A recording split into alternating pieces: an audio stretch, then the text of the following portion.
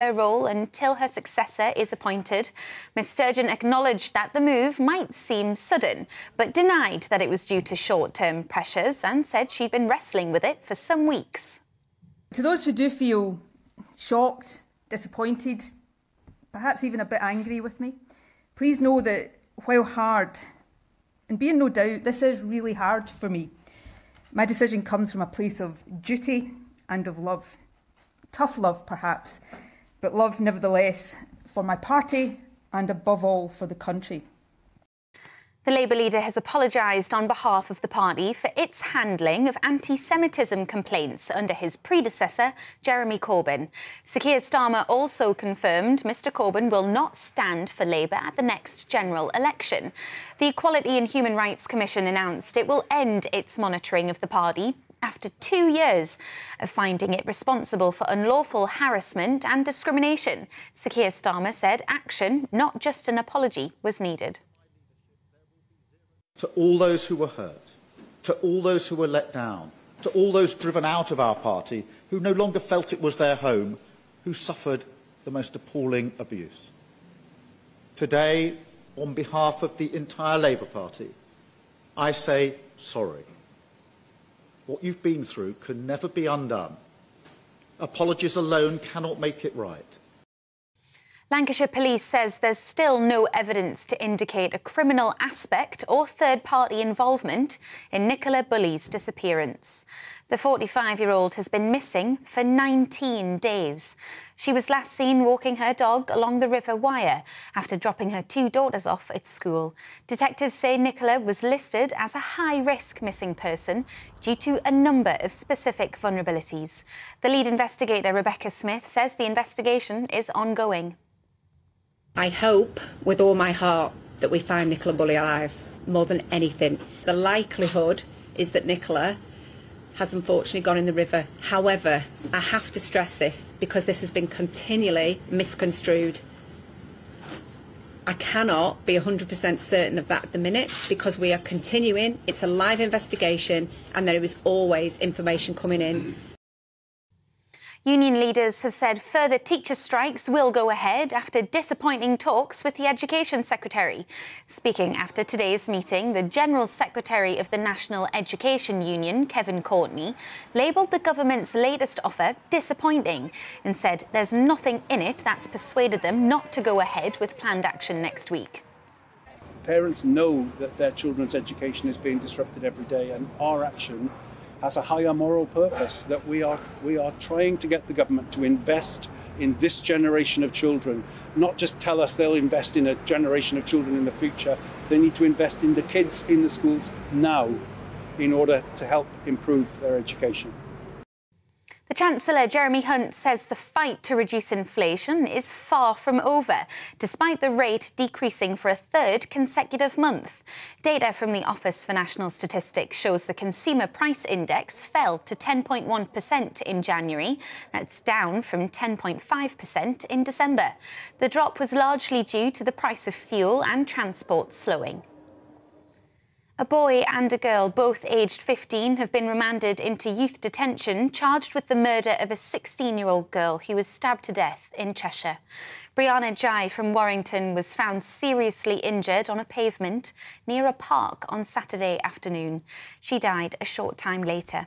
Cheshire Police says they're exploring whether the teen, who was transgender, was the victim of a hate crime. The two teenagers will appear at Liverpool Crown Court on Thursday. A British man who died in Ukraine has been named by his family as Jonathan Shenkin from Glasgow. A family tribute on social media said he died as a hero in an act of bravery as a paramedic.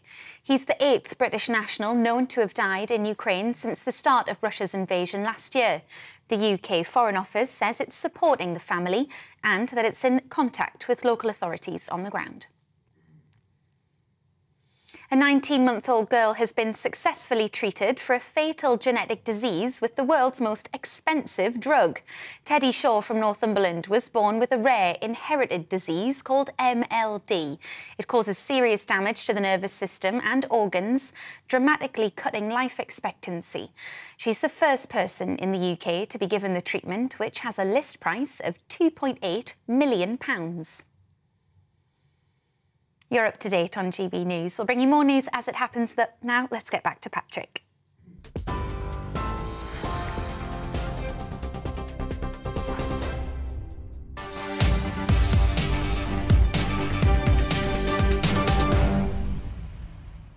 Oh, OK. Right, so Scotland's First Minister, Nicola Sturgeon, has announced that she will step down after eight long years in the job. She made the announcement in a press conference in Edinburgh this morning and said that she'd been wrestling with the question of whether or not to resign for weeks. Unlike a lot of people who had, no, I won't say it, responding to suggestions that she quit because of a backlash from her controversial gender reform bill, the First Minister insisted the decision, get this, was not because of short term issues. I know there will be some across the country who feel upset by this decision and by the fact I am taking it now. Of course, for balance, there will be others who will, uh, how should I put this, cope with the news just fine. Such is the beauty of democracy. But to those who do feel shocked, disappointed, perhaps even a bit angry with me, please know that while hard, and be in no doubt, this is really hard for me. My decision comes from a place of duty and of love. Tough love, perhaps, but love nevertheless for my party and above all for the country. I have spent almost three decades in frontline politics, a decade and a half on the top or second top rung of government. When it comes to navigating choppy waters, resolving seemingly intractable issues, or soldiering on when walking away would be the simpler option, I have plenty of experience to draw on. So, if this was just a question of my ability or my resilience to get through the latest period of pressure, I wouldn't be standing here today. I think she's doing a, a, bang up job of trying to control a narrative that people are absolutely gutted about this, isn't she? But yes, Nicola, a lot of people I think are indeed coping just fine. Joining me now is GB News' political correspondent Olivia Utley. Olivia, I saw you had a, you had a, a breakdown, catastrophic breakdown earlier on, and we've had to just get her on the airwaves. You're, you're not coping just fine at the minute, are you? But um, there are some reasons behind this. She's saying that it's not just to do with short-term issues. Okay. But actually, the polling at the minute is not particularly good, and uh, quite a lot of people wanted her out. Yes, there was a poll recently suggesting that 42% of Scots wanted her to stand down immediately, and that wasn't the only bad poll result that she's had. The latest Lord Ashcroft poll, which, bear in mind, previous Lord Ashcroft polls have shown big support for independence and have been supportive of Nicola Sturgeon. But the latest one suggested that no to leaving the UK mm. was ahead by 12%, which is the highest we've seen for over a decade. And she talks about, she mentions a bit about the, the short-term pressure she's under there. Of course, the Gender Recognition Reform Bill, which has proved very unpopular indeed in Scotland. Um, only, I think it was by a margin of two to one, uh, Scots don't support it. That's only one of the issues. We've also seen the NHS waiting lists. We've got mm-hmm. uh, up 68% more people than before the pandemic now going private because of two-year waiting lists in the NHS. So there were all of these competing pressures hitting Nicola Sturgeon at the same time. And she was under quite a lot of pressure, not just from the electorate, but also from the SNP. There were those within her very inner circle who didn't like the fact that she was planning to turn the next general election into a de facto referendum. Mm. And that might have been the straw that broke the camel's back. Yes, indeed. And look, just throughout the course of the next 15 minutes or so, I'm going to be speaking to the Deputy Leader of the Scottish Conservatives, a former member of the SNP, and a constitutional expert. So we'll get the political angle on it from both sides, really. And also, of course, what this means now, the big questions about independence, Scottish independence. But another little thing that um, Nicola Sturgeon, well, was asked about, swerved, is there might be a couple of things coming down the road for Nick, mightn't there, that wouldn't have necessarily been things that she wanted to go through SNP finances, etc., like that? Yes, there is this awkward story which was uncovered, I think it was by The Sun on Sunday, of a £500,000 online fundraiser for the SNP. And it appears it's not quite clear where that money has got to. Right. So the police are questioning at the moment. It's not yet clear. Sturgeon avoided the question put to her by the BBC of whether she personally has been questioned, but that is a, an awkward question that's rumbling along. And of course, she's still facing the fallout from the Salmond affair, which was a couple mm. of years ago. She was very close to Alex Salmond, and obviously, huge scandal around him. And to what extent did she know the details? So there have been all of these competing mini scandals, as it were, leading up to this. So although it seemed like a bit of a shock on the face of it, for those in Holyrood, the writing had been on the wall for a while. Exactly. Look, Olivia, thank you very much, as ever. Olivia Utley there, our political correspondent. I've been asking you to email me. Get those emails coming in. I'll go to those shortly. gbviews at gbnews.uk. Is it good riddance? to Nicola Sturgeon. Joining me now is the Deputy Leader of the Scottish Conservatives. It's Meghan Gallacher, MSP. Meghan, thank you very much. Is it good riddance to Sturgeon? Well, I mean, I think um, what we've seen is Nicola Sturgeon um, obviously resigning earlier on today, um, and she's left Scotland in a more divided country than when she entered office. I mean, I, I think we can best describe um, her leadership as her taking our eyes off the ball, um, and that relates to the drugs test scandal, um, NHS waiting times, which has just been mentioned, and failing to make education her number one priority. There is a certain irony, I think, that a female leader has potentially been brought down by, some would argue, failing to protect women's rights. Well, I, think that's right, and I think we, we can all, you know, take, take recognition that the Gender Recognition Reform Bill has got something to do with this. It was a deeply unpopular um, policy, and as you say, Nicola Sturgeon failed to take into account the concerns raised by women across the country, and she even um, said that those concerns were not valid. So I think when you look um, at the, the position that she put herself in, she backed herself into a corner um, because she ended up defending the indefensible, and I think this became clear at First Minister's questions during the exchanges between Nicola Sturgeon and Douglas Ross, um, when it was clear that she found herself into she found herself in a political hole that she could just no longer get herself out of. The ground has, in recent years, never been more fertile for another Scottish independence referendum because you'd almost definitely win it this time round, wouldn't you? Would you? Would you have a, a snap independence referendum tomorrow? You'd smash it out the park, put it to bed forever. No, I mean, I, I, want to see a government that actually focuses on um, Scotland's uh, priorities. I want to see, you know, an education system that's fit for purpose. I want to see our NHS waiting times down. I want to see people being able to access public services, and all of that has been eh, we've not, we've not been able to do that under this SNP government because they've been so distracted um, by another independence referendum that they've that they've just not prioritised what the people of Scotland want them to. What's the mood like up there now? Because I think it caught quite a few people on the hop. But uh, I suppose the smart money is the notion that despite what Nicola Sturgeon is trying to say, controlling this narrative, I know you're all in shock. I'm sorry, I'm doing this for the greater good. You will thank me for this later on. There are a few potential scandals brewing that no doubt she wouldn't want to be a part of, and she doesn't like to recall a lot of information, quite famously so. Uh, she might be forced to in some cases, given some of the financial issues that the SNP is facing at the moment. Is the mood up there that she jumped before she was properly pushed? I mean, I think there could be an element of that. I, wouldn't want to speculate in terms of, you know, the, the, the certain um, headlines that have been um, emerging. However, you know, I think when we, we look at the overall um, recent um, attitude um, from Nicola Sturgeon towards how she's been coping with certain issues um, in the Scottish Parliament, I think um, it's, it's definitely not been the the usual um, behaviours that's that's been certainly you know of, of previous Nicola Sturgeon and how she would um, how she would you know perform in certain ways in terms of you know our FMQ performance um, or indeed you know how she would conduct herself doing press conferences, for example. Well, the Scottish Conservatives maybe do actually properly have stuff to get their teeth stuck into north of the border now. There'll be a bit of chaos with the SNP leadership election. And, of course, potentially could even become the party of women as well up there, which appears to have been lacking, rather ironically, for some time. Thank you very much, Deputy Leader of the Scottish Conservatives, Meghan Gallacher, there, MSP. Now, Austin Sheridan is a former SNP Glasgow City Councillor, and he joins me now. Are you in mourning? I'm not mourning. I'm, I'm disappointed, and I believe that we were all kind of taken by surprise. I think that seems to be to be the mood of the nation. Um, I think that Nicola Sturgeon uh, could have went on longer, but as Nicola Sturgeon said in her statement today, you know there be people there who felt she could have went longer, maybe people who are disappointed, but she has done it um, out of the love for for her party and her country.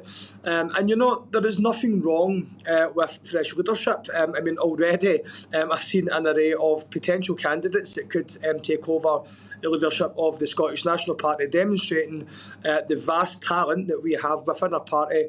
And you know, the SNP is bigger than Nicola Sturgeon, even though um, I would argue she's been the best leader that we've had um, since devolution. Is that, is that um, a concern? Is that would, do the public have a right to be concerned about the idea that Nicola Sturgeon is the best that the SNP has had to offer? Because if I look at it now, you know, the NHS, massive waiting times, 68% more people going private in the NHS north of the border. The support for Scottish independence appears to be tanking. Big issues when it comes to drug deaths still. We've also, of course, seen things like the attainment gap, which Nicola Sturgeon was actually quite fruity with the truth over when it comes to the gap between the poorest and the wealthiest in Scottish education. What is her legacy? Because, I don't know, is Scotland not worse now than when she took over? I mean, yet despite everything you say, Nicola Sturgeon still remains the most popular leader of any political party um, in Scotland. Um, um, the SNP still lead um, in the um, in the polls that we would win elections, and indeed um, increase our number of Westminster seats to the numbers that we have just now. I mean, uh, and, and and what Nicola Sturgeon can be proud of. I mean, if you look at the way, for example, that, that she led us through the pandemic, and, and we had looked the Tories trying to attack Nicola Sturgeon, you know, on that. Uh, on, on how she was handling the pandemic. But yet, she managed to achieve the highest percentage share of the SNP vote that we had ever recorded in a Scottish parliamentary election. So, I mean, understand that the opposition politicians will be, they'll, they'll be a lot of hmm. bluster. Um, you know, uh, um, they'll talk about how Nicola Sturgeon is, unpopular. But, you know, time after time when the voters go to the polls, okay.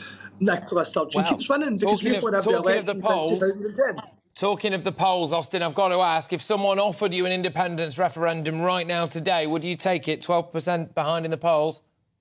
Do you know something? I would love an independence referendum right now because the thing about unionists in Scotland, right, is, is they aren't prepared to argue for the union. When, when I compare Scottish unionists to other unionists, such as Arlene Foster, for example, somebody who is actually passionate and, and she always wants to argue, um, you know, for Northern Ireland's place in the union and she's passionate about it. Unionists in Scotland aren't passionate about the union, they're scared of the debate. So the, the fact that they're scared and so unprepared absolutely makes me want to have one because okay. I'm confident that we would win.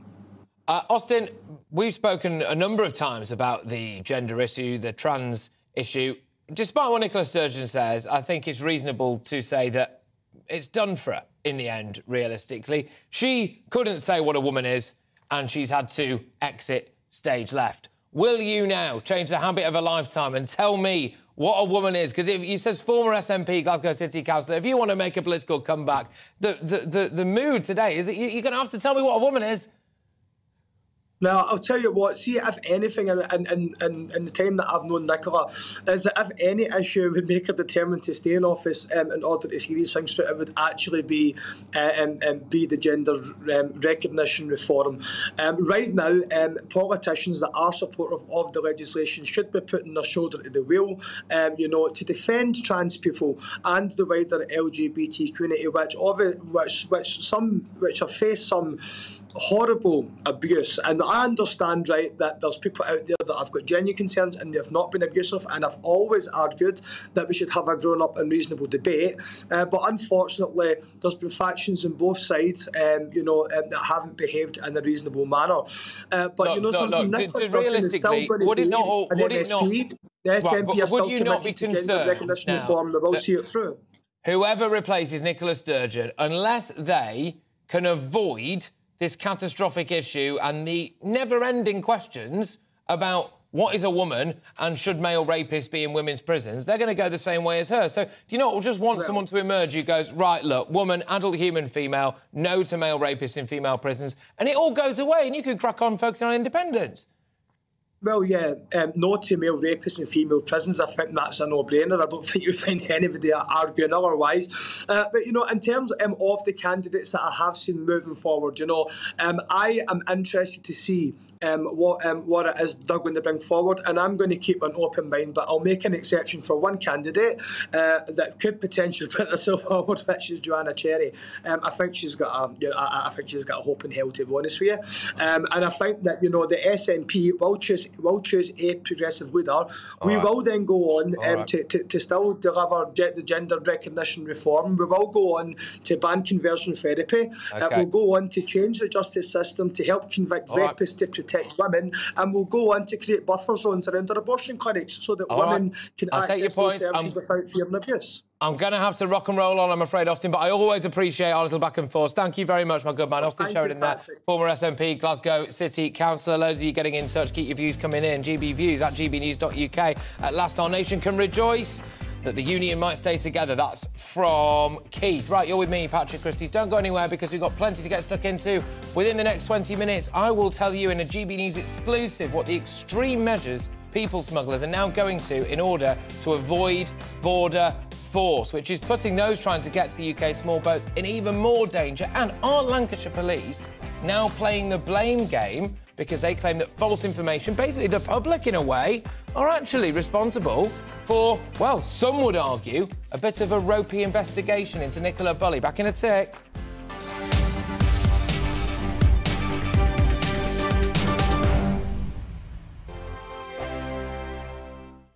It's all about family, being in people's living rooms, all the interaction and getting to know who our viewers and listeners are. When I was young, my dad used to say, Nana, stop arguing. I wanted an outlet that would enable me to give my opinion.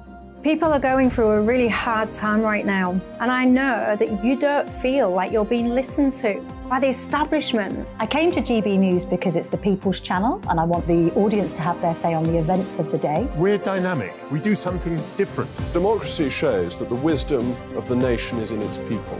I get to travel to find out what the story is from a personal perspective. The British people aren't fools. We know when we're not being told the full story. We've got to work out how Britain moves forward from this. It's the best country in the world. The establishment had their chance. Now we're here to represent your views. Britain's watching. Britain's watching. Britain's watching.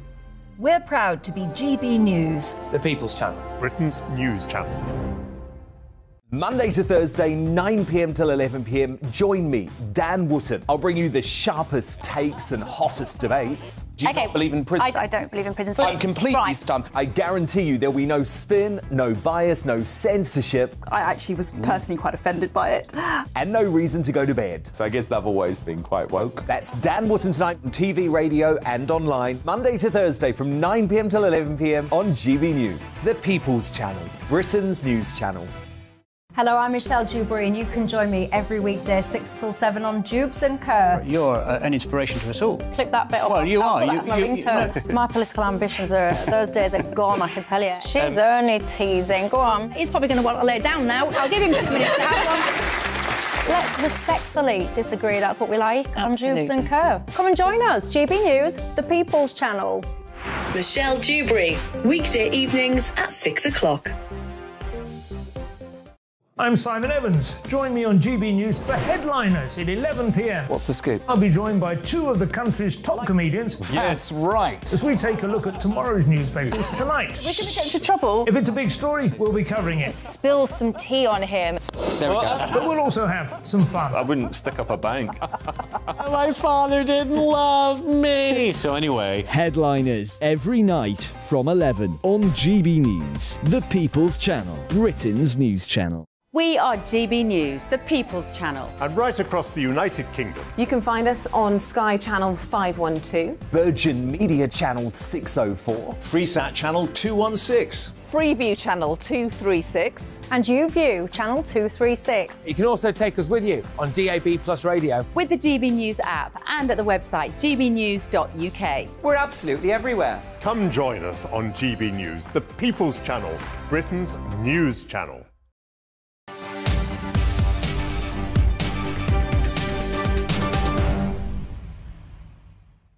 Well, ladies and gentlemen, this is another big one because the UK's maritime rescue services are being warned that they're likely to see migrant boat crossings over a much wider stretch of the southern coastline in the year ahead. GB News can reveal people smugglers are increasingly launching small boats much further south along the French coast to try to avoid more robust police patrols around the Calais and Dunkirk area. So, new routes, people, and it opens up a much wider stretch of that south coast. Our Home and Security Editor Mark White has this report. Racing out from the French coast, a local lifeboat crew responding to reports of a small migrant boat in difficulties. But this incident, also involving a French border patrol vessel, is far away from the usual small boat routes out of Dunkirk and Calais. In fact, we're south of Boulogne, more than 50 miles from those routes. It's one of dozens of rescues the lifeboat based in Berck has attended in recent months. A major uptick in activity as people smugglers attempt to avoid increasing police patrols further north. The numbers have been rising. At the end of 2021, we were involved in many migrant rescues. During 2022, there were significantly more migrants. The further they have to travel by boat, the higher the risks. Travelling from down the coast brings extra dangers. Being in the water for longer brings the danger of hypothermia and even being hit by bigger boats. For the people smugglers, increased police activity around Dunkirk and Calais has made their regular launch points more difficult to operate from. French authorities are also busy erecting miles of extra security fencing around those beaches, and that's driving the small boats further south. For years, the criminal gangs have predominantly used the shortest route to the UK, pushing off first from the beaches around Calais, then expanding to include areas near Dunkirk. While occasional boats have been launched further south, in the past six months, this route using beaches near Boulogne has seen a significant spike in activity. With a beach even further south near Fort Mahon also now regularly being used. And for maritime patrols in UK waters, that means a far greater likelihood that small boats will begin showing up on a much longer stretch of UK coastline in the year ahead. It'll mean rescue teams across a wider area being called out more regularly to boats that have been in the water for many hours.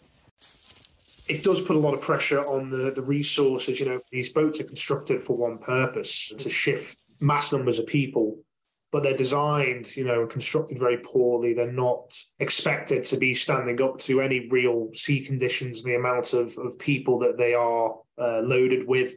So by crossing from further south and spending longer at sea, every second that they're at sea longer than they need to be is just going to increase that risk and that chance of, of another of another disaster.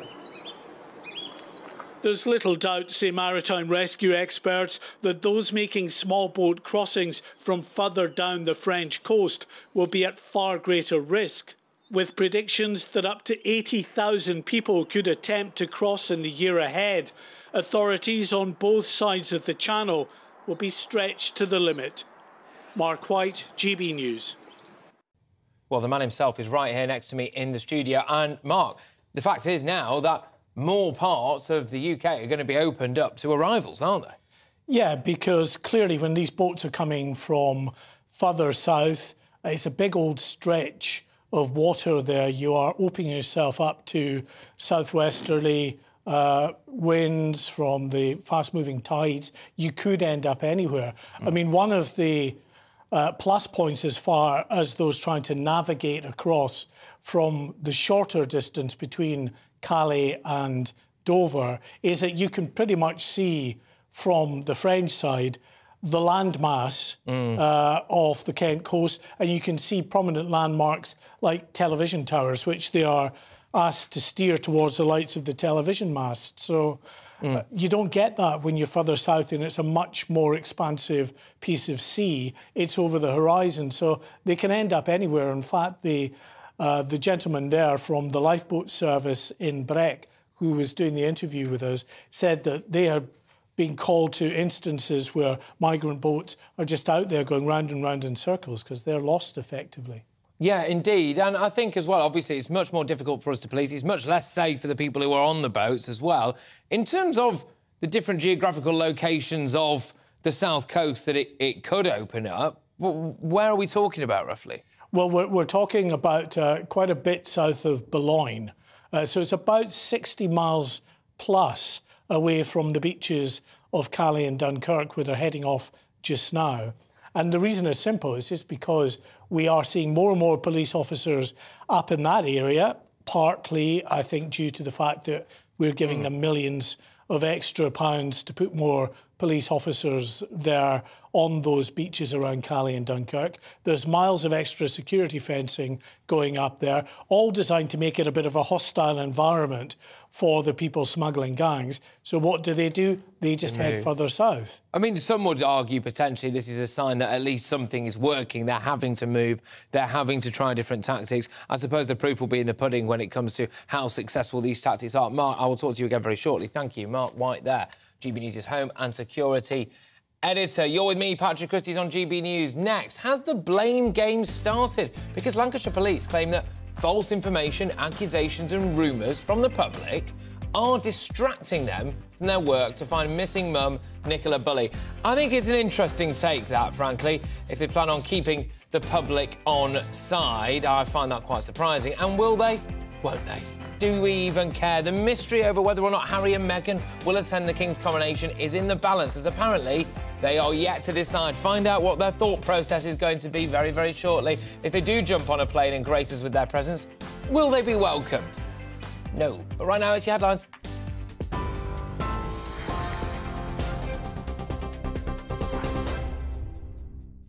Patrick, thank you. Good afternoon. It's 33 minutes past three. I'm Bethany Elsey in the GB newsroom. Nicola Sturgeon has resigned as First Minister of Scotland after eight years in the job. Speaking at a press conference at Bute House in Edinburgh, Ms Sturgeon said she was proud to have served as the first female and longest serving First Minister of Scotland. Ms Sturgeon acknowledged that the move might seem sudden, but denied that it was due to short term pressures and said she'd been wrestling with it for some weeks. To be clear, I'm not expecting violins here, but I am a human being as well as a politician. And the nature and form of modern political discourse means that there is a much greater intensity, dare I say it, brutality to life as a politician than in years gone by. All in all, and actually for a long time without it being apparent, it takes its toll on you and on those around you. The Labour leader has apologised on behalf of the party for its handling of anti Semitism complaints under his predecessor, Jeremy Corbyn. Sir Keir Starmer also confirmed Mr Corbyn will not stand for Labour at the next general election. The Equality and Human Rights Commission announced it will end its monitoring of the party two years after finding it responsible for unlawful harassment and discrimination. And Lancashire Police says there's still no evidence to indicate a criminal aspect or a third party involvement in Nicola Bulley's disappearance. The 45 year old has been missing for 19 days. She was last seen walking her dog along the River Wyre after dropping her two daughters off at school. Detectives say Nicola was listed as a high risk missing person due to a number of specific vulnerabilities. You're up to date on TV, online and DAB Plus radio. This is GB News. Patrick will be back with you in just a moment.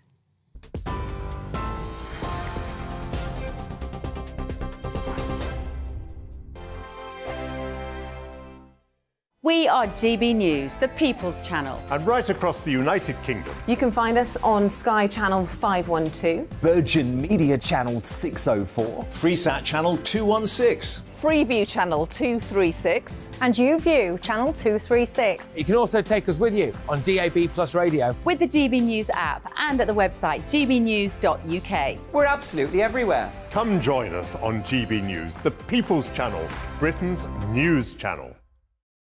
Join me every Sunday at 6 pm for Gloria Meets. In exclusive interviews, I'll be finding out who our politicians really are and what they really think. It's something that you would never want anyone to suffer. I didn't know what channels there were. B, I didn't think I'd be believed. I must have weighed about seven stone and I'm five foot eight. My instincts was to sort of cover this up. I mean, clearly that was a mistake. Join me every Sunday at 6 pm on GB News, the People's Channel, Britain's news channel. Monday to Thursday on GB News, it's Bev Turner today from 10am. We're going to be here for you, our GB News family, to keep you up to date, but also make you smile. The guy went from puberty to adultery. and I can't wait to bring a few of my own opinions. I have no time for cultural totalitarianism. We'll engage in passionate, but always polite debate with your thoughts and opinions at the centre of it all. Only on GB News, the People's Channel, Britain's news channel. Hello, I'm Michelle Dewberry, and you can join me every weekday, 6 till 7 on Dewbs and Co. You're uh, an inspiration to us all. Clip that bit up. Well, you I'll are. Put You, my you, ringtone. You, my political ambitions are, those days are gone, I can tell you. She's um, only teasing. Go on. He's probably going to want to lay down now. I'll give him two minutes to have one. Let's respectfully disagree. That's what we like Absolutely. on Dewbs and Co. Come and join us. GB News, the People's Channel. Michelle Dewberry, weekday evenings at 6 o'clock.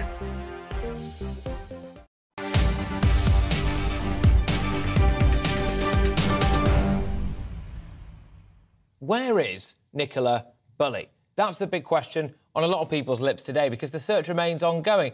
The working hypothesis is still that she unfortunately has gone into the river. But Lancashire Police gave an update on the investigation earlier, saying that they were sharing more information than they normally would. And the Assistant Chief Constable, Peter Lawson, emphasised that there was no evidence to indicate that there was a criminal aspect to this case.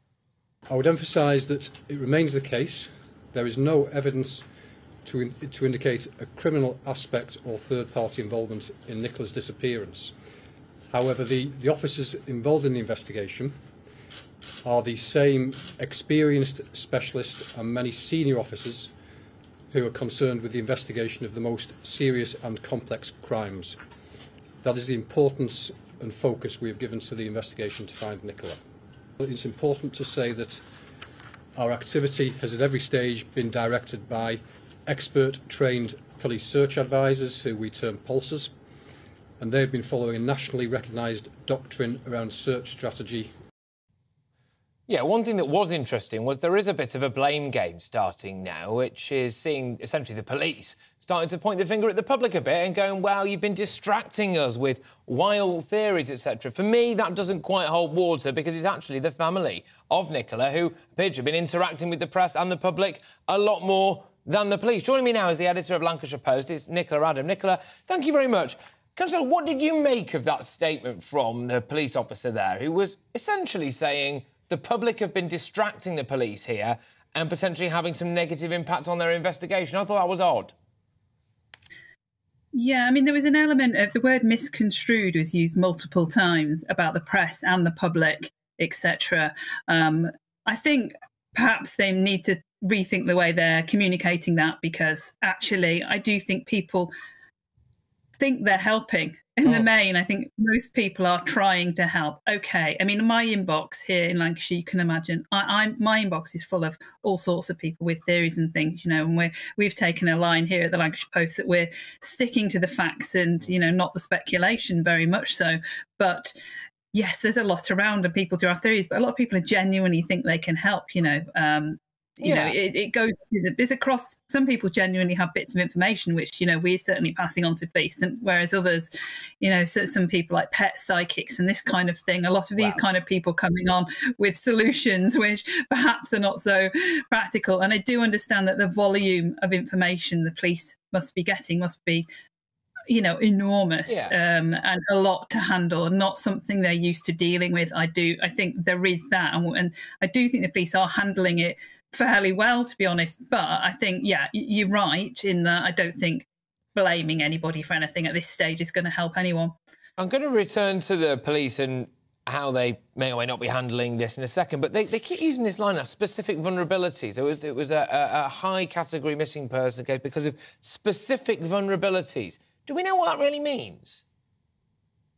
Um, well, we don't at this stage, but I mean, the indication was there right from the very beginning that there was something else they wasn't telling us. Simply because if some a person goes missing, normally they would there would be a, a, kind of waiting period first. They'd normally give it like forty eight hours before they swing into full investigation, search, and kind of communication to the press mode, but this was very fast. This, within an hour of Nicola going missing, being reported missing by her partner, they'd started the search. They'd started putting out missing from home notices on social media into the press, which was very fast. So really, it was always the clue was always there that there's more to this than quite meets the eye. What yeah. exactly those possibilities are and stuff they're, they're trying to keep private, but obviously you know that's just going to lead to more speculation at this stage well this is the thing and it's such a difficult case not to speculate on and every single person obviously wants to have the respect for the family and for nicola and for the police as well mm. frankly but we are here now day 18 19 i lose track frankly uh, it's incredibly difficult not to speculate because it just seems so mysterious and it leads to the is, how can someone just drop off the face of the earth and what are the police not telling us and why. And in case of the in the case of the specific vulnerabilities, that's something that is bound to get people talking, as indeed we were. Now, can I ask you will you will know a lot more about Lancashire Police, frankly, than I would imagine most people. What's their form like when it comes to being able to solve cases that are similar-ish to this? Well, it's actually pretty rare for something this high profile and this large to come to Lancashire. Um, usually, I, can only imagine, like in this case, like in other cases, they would have had to have some input from outside, um, from the National Crime Agency, etc., who I think they have consulted. Um, so it's been a while actually since they've had something like this too. So I can't really say, oh, you know, they're fantastic at this or whatever. Um, they're certainly not got a reputation for being bad at things. So at this stage, I think we just have to keep an open mind that they'd know exactly what they're doing.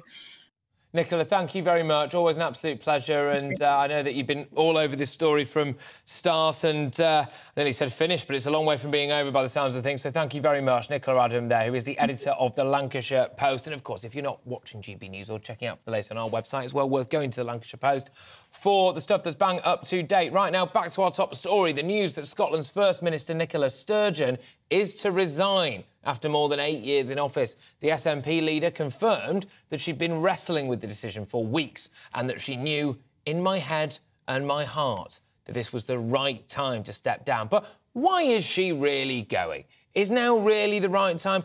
Did recent pressures play any role in her decision to quit? Controlling the narrative is a, well, it's the, it's the right of anyone who's in politics and the right of anyone who's giving any speech whatsoever. You want to control the narrative, don't you? She was at pains to say it is not due to short term pressures, which I think most people can read into the fact that it probably was a bit to do with short term pressures. To break this down further, I'm joined now by Liberal Democrat MP for Edinburgh West, Christine Jardine. Christine, thank you very, very much. Are you mourning the sad loss of Nicola Sturgeon? Um, actually, I was surprised at my reaction today because uh, Nicola Sturgeon has been a huge figure in Scottish politics since, well, at least since she was elected in 1999. So while you know I have agreed with very little that she has said, particularly about independence, and mm. um, we've gone toe to toe over the referendum um, nine years ago now. I, I respect the fact that Nicola Sturgeon is a hugely talented um, politician who will be a sad loss to her party, most of all, but to Scottish politics. Someone that okay. talented, you do not want to lose from from the scene. And you know, it's you know, part of me is sad to to see her go, and I have a huge respect for her. Does that start with possibly the good news for you in terms of the independent side of things. Do you, do you think that Nicola Sturgeon going and what's inevitably about to happen now with the SNP, leadership elections, etc., whoever comes into replace her will not be as iconic a figure as Nicola Sturgeon has been, OK? So is it a good thing for people who do not want to see the breakup of the United Kingdom? Well, you'd be surprised to know that that is not actually what is at the forefront of people's minds in Scotland at the moment. Independence is not the main issue. The main issue in Scotland at the moment is the fact that our NHS is in a perilous condition, mm. our education standards are falling, our public services are on strike, there are potholes everywhere in our roads, they're terrible. These are the things that people are actually concerned about in Scotland at the moment. So whether or not it will make any difference to the independence debate is an issue for the SNP. And you know, I think that in general terms, it will be difficult for them to find someone with the political savvy, the cachet, and the just the experience of Nicola Sturgeon as quickly. Because remember, she was deputy first minister for a number of years under Alex Salmond, and she ha- is one of those now rare beasts in Scottish politics who had been in the Scottish Parliament since it was set up in 1999. So her experience um, Yeah. is you know is irreplaceable. And let's not forget that whatever else has happened in scotland over the past eight years nicola sturgeon was hugely significant in coping with the pandemic in scotland. Her influence her reassuring figure every day um, at her press conferences was completely different from what we were getting from england. It's, it's interesting. I, I wonder how many people who saw Nicola Sturgeon popping up in their front room every day thought it was particularly reassuring. But I'll have to take your word for that, Christine. Look, the element of pot- the, uh, right. the element of potentially bad news uh, for you, I would I would suspect, is that a big thing. Some have argued the straw that broke the camel's back with Sturgeon is on the gender recognition stuff and the idea that she, a female leader, couldn't tell us definitively what a woman is. If you want to secure your place at the heart of Scottish politics, are you now going to have to come up and say, let's end this madness? Tell me what a woman is? Th- that's not what this is about today. What we're talking about today is the fact that Scotland is looking for a new First Minister and that we have an important position as leader of the SNP and of uh, First Minister, which is going to steer politics in Scotland for the next at least four years until the next election. Now, that is what is important to all of us today. That is what is significant.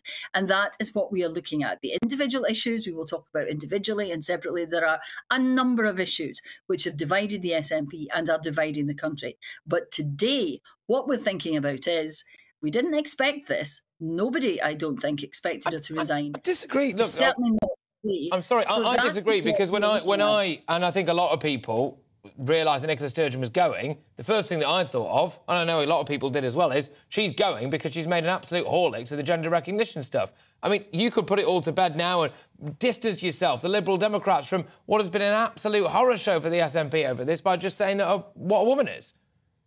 It, it has been a horror show for the SNP. I'm not. I'm not denying that they have managed it incredibly badly. But you, but, you think you have the same out- views on it there as the Let SNP? me finish. don't? Let me finish. I am out every day of the week that Mm-hmm. I am in Edinburgh talking to people in Edinburgh and what they care about. And I know that what they care about is the cost of living crisis, it's Mm-hmm. the cost of energy, it's the state of our NHS, it's the falling standards in our education and, and the, the conditions we're expecting teachers to work in. That is what people who uh, All vote in Scotland, who live in Scotland, care about. And if you're looking for what has been the downfall of Nicola Sturgeon, then you will have to look at her record as a whole. And one of the things she did say was judge her on Okay. education.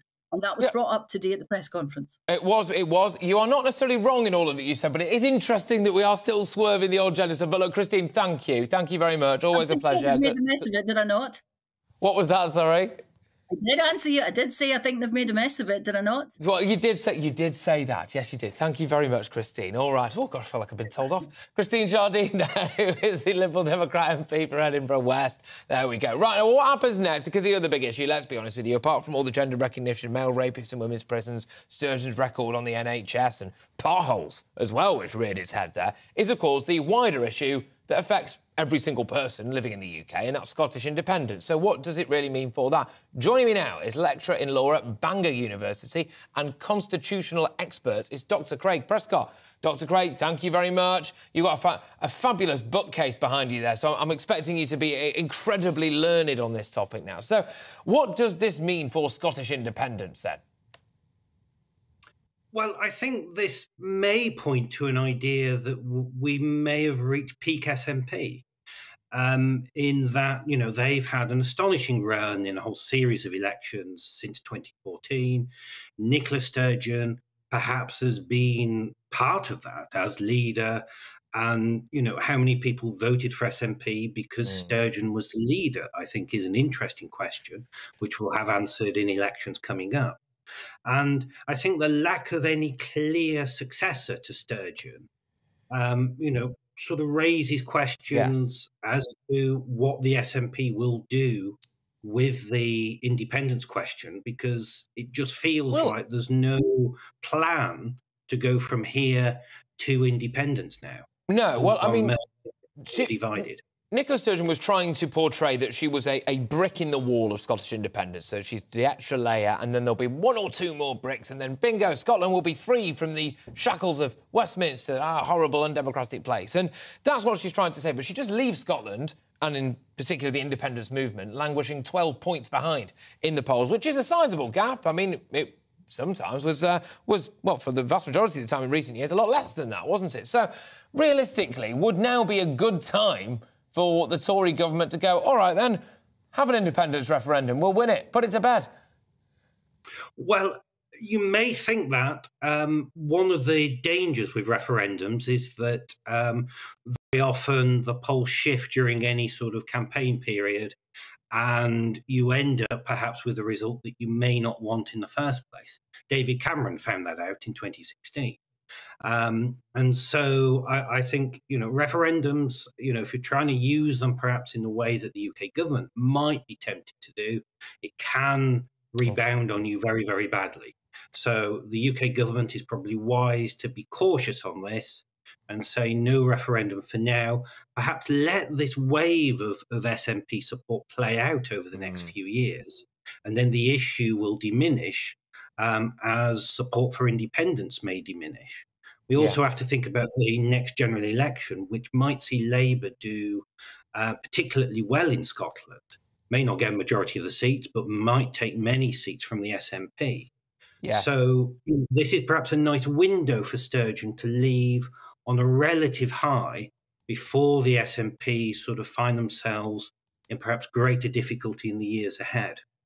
Yes, indeed. And in fact, you've hit the nail on the head there because uh, almost like we planned it. A little bit later on in the show, I'm going to be speaking to the Shadow Secretary of State for Scotland. So we'll get their view on exactly how well Labour will do or could do potentially now in Scotland. Look, thank you very much. It was indeed expert analysis, as we came to expect. That is a lecturer in law at Bangor University and constitutional expert, Dr. Craig Prescott. Reassuring, I think.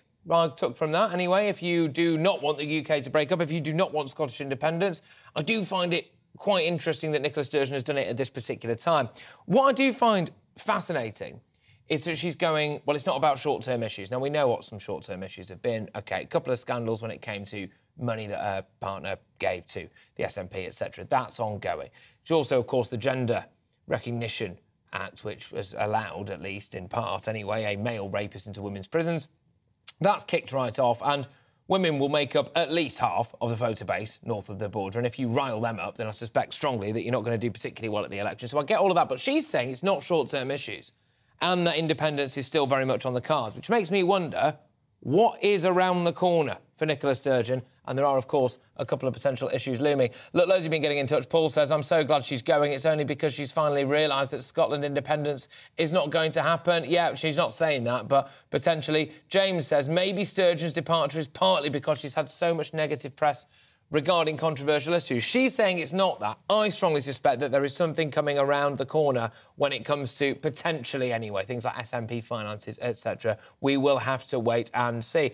The recent controversy, though, over the Queen Consort's crown has refocused attention on other contentious aspects of King Charles's coronation. That's right, we're moving on, people. The attendance of the Duke and Duchess of Sussex, Harry and Meghan. Will they, won't they? I believe that I am joined now by uh, the wonderful royal commentator Michael Cole. Now, Michael, uh, they say, Harry and Meghan, that they are assessing what the public mood is going to be like, and then they will make their decision. Can we just cut it short for them and tell them exactly what the public mood is going to be like? It's going to sound like this, isn't it? Boo! Patrick, Patrick, only 80 days to go now. I'm sure you're keeping your excitement in, in check at the moment, and your invitation is probably already in the post. Of course, the king actually has played a blinder in this because he let it be known from the outset that his younger son and uh, the younger son's wife, Meghan, were very welcome at his coronation. Now, that puts the ball very firmly in their court. If they decide not to come, that would look a little bit small minded and uh, perhaps a little bit peevish. And of course, if they do accept, uh, they leave themselves open to the charge of hypocrisy, having slagged off uh, merrily most of the members of the royal family in ways that were cruel and hurtful. Um, and so it's really up to them. The king has been, as I say, very clever. If you want my guess, which you haven't asked for, I rather suspect that he will come uh, and she will stay at home with the children. Hmm. I, be honest with you, Michael, I want them to come so they can see how much the British public despise them. Is that unfair? No, well, it's interesting. I would always say that the British public, at a, a great occasion, would never boo but that was given the lie at the memorial service or, Thanksgiving service at St. Paul's for Her Majesty the Queen's 70 years reign, where there was sporadic booing from the crowd. But you know, more than booing, silence is a very much more powerful weapon. Mm. Uh, the cold shoulder ha- has very much more effect. And yes. I think people will let themselves know. It was interesting. Um, I know your previous guest, one of the many books behind him, was mm. Battle of Brothers by Robert Lacey. I did ah. notice that. Of course, that battle has turned very much more into a war. So the difficult uh, uh, relationships will be within uh, w- between Prince William, now All Prince right. of Wales, and his brother and how will they get on, and lots of other factors. Where will lots of other factors hide the dog bowls in case one of them gets smashed? Michael Cole, thank you very much, royal commentator. Always a pleasure, Michael. Great to see you. You're with me, Patrick Christys on GB News. Don't go anywhere because I've got more on that farewell message from a leader who's adamant that her controversial stance on gender reform and constant independence mission wasn't the downfall. Nothing to see here, people. Yes, we will debate Nicola Sturgeon's legacy. Stay tuned.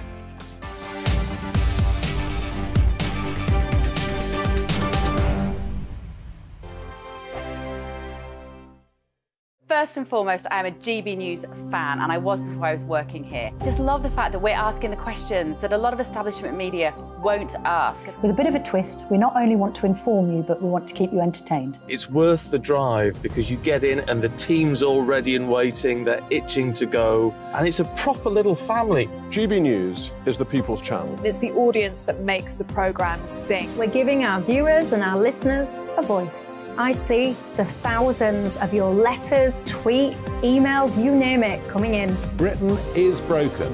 How on earth did we get into this mess? But more importantly, how do we get out of it? The establishment had their chance. Now we're here to represent you. It's time for something different. It's time for GB News. I'm very patriotic. I believe in Britain. Our best days lie ahead. Britain's watching. Britain's watching. Join us here on GB News, the People's Channel, Britain's news channel.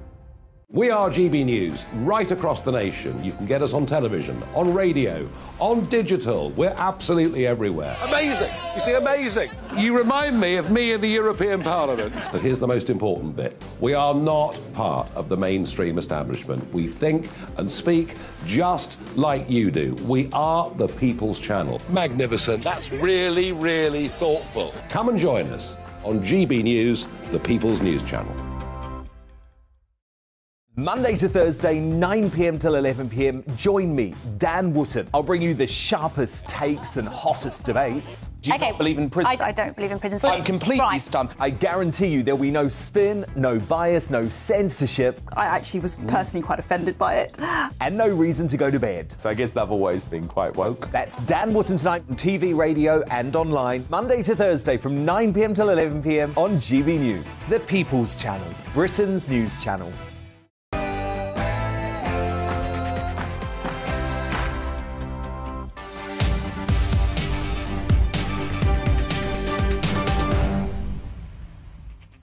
Welcome aboard. It's 4 pm, it's GB News, and you're with me, Patrick Christys. A jam packed hour coming your way. Time is almost up now for Nicola Sturgeon, and oh, you just hate to see it, don't you? As she announces that she'll step down as First Minister, surely her controversial stance on gender reform and her hell bent drive for independence were key reasons for her downfall, but she, naturally, says no. No, it will be tempting to see it as such. This decision is not a reaction to short term pressures. Of course, there are difficult issues confronting the government just now, but when is that ever not the case? I mean, maybe it was the slightly longer term issues of the education system, the NHS, or the transport network. I mean, take your pick. Right, what now, though, for independence, her gender reform plans, and crucially, her legacy? Just when you think that people smuggling gangs couldn't find any more dangerous and extreme ways to put lives at risk, well, they do just that. Find out how in our exclusive report and find out the new ways in which people are illegally entering the UK. More areas of the south coast set to be hit, and Lancashire Police, they update us on their search for the missing mother, Nicola Bulley. But are they really trying to blame the likes of you and me for their lack of results? It would appear so. And they will make their mind up already. Have they made their mind up already? Harry and Meghan are really keeping the suspense in the mystery over whether or not they'll rock up for the coronation. Get your emails coming in, people.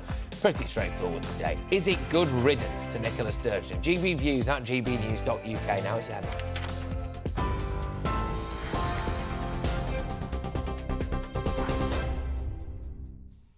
Patrick, thank you, and good afternoon to you. The Prime Minister Rishi Sunak has thanked Nicola Sturgeon for her service after the First Minister made a surprise announcement today that she's to step down after eight years in power. Speaking at a news conference in Edinburgh, Ms Sturgeon said she was proud to have served as the first female and longest serving First Minister of Scotland. She will remain in the role until her successor is appointed. Ms Sturgeon acknowledged that the move might seem sudden, but denied it was due to short term pressures and said she'd been wrestling with the idea for weeks. Good morning. To those who do feel shocked, disappointed, perhaps even a bit angry with me, please know that while hard, and be in no doubt, this is really hard for me. My decision comes from a place of duty and of love. Tough love, perhaps, but love nevertheless for my party and above all for the country. Well, Deputy Leader of the Scottish Conservative Party, Meghan Gallacher, says the gender reform bill was part of Sturgeon's downfall. It was a deeply unpopular um, policy, and as you say, Nicola Sturgeon failed to take into account the concerns raised by women across the country, and she even um, said that those concerns were not valid. So I think when you look um, at the, the position that she put herself in, she backed herself into a corner um, because she ended up defending the indefensible. Now, the Labour leader has today apologised on behalf of his party for the handling of anti Semitism complaints under his predecessor in the Labour Party, Jeremy Corbyn. Sir Keir Starmer also confirmed Mr Corbyn will not stand for the Labour Party at the next general election. The Equality and Human Rights Commission announced it'll end its monitoring of the party two years after finding it responsible for unlawful harassment and discrimination.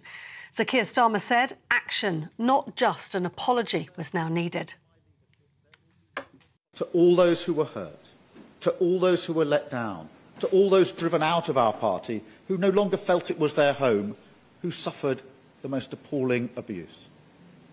Today, on behalf of the entire Labour Party, I say sorry. What you've been through can never be undone. Apologies alone cannot make it right. Sir Keir Starmer speaking earlier on today.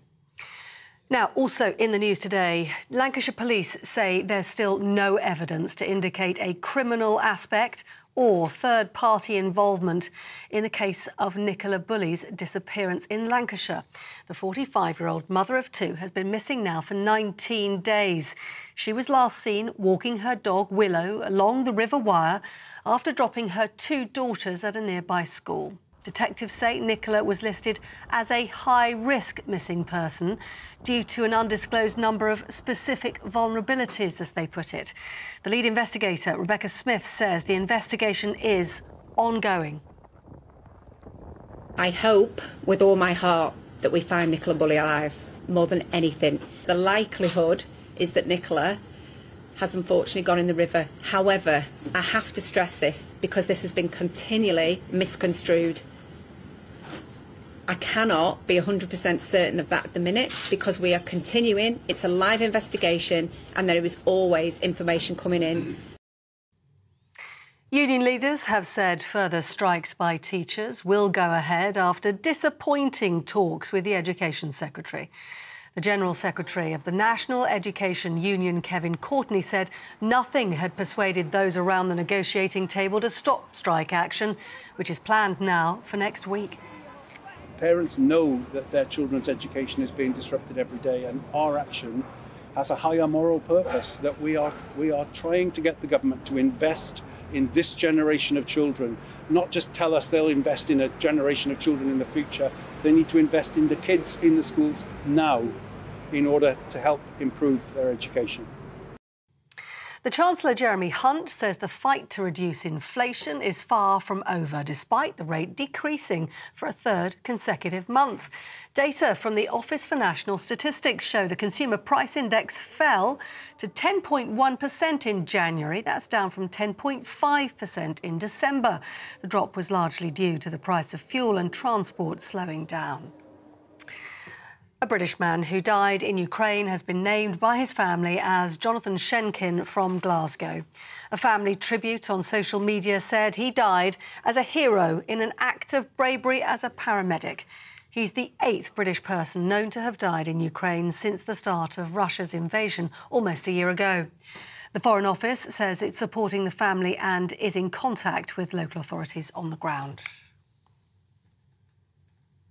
Those are your latest news headlines. I'm back in half an hour. Now let's get more from Patrick.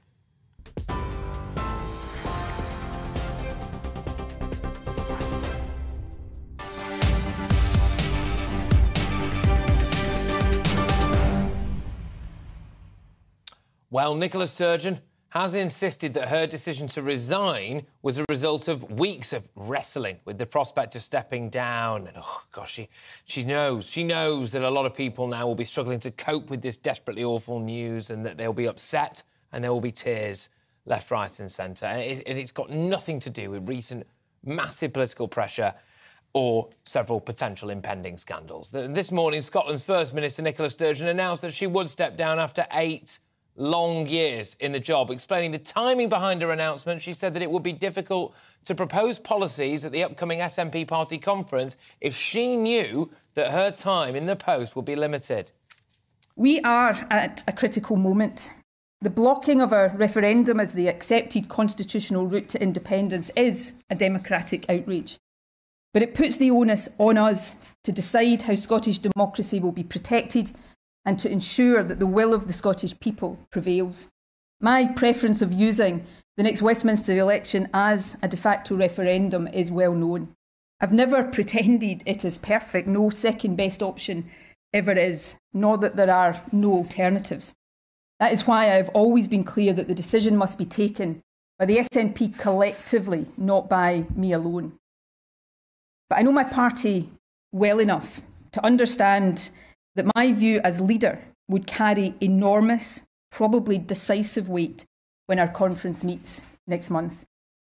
And I cannot, in good conscience, ask the party to choose an option based on my judgment, whilst not being convinced that I would be there as a leader to see it through. By making my decision clear now, I free the SNP to choose the path it believes to be the right one without worrying about the perceived implications for my leadership yeah, well, just a, a moment's silence now for Nicola Sturgeon's resignation. Right.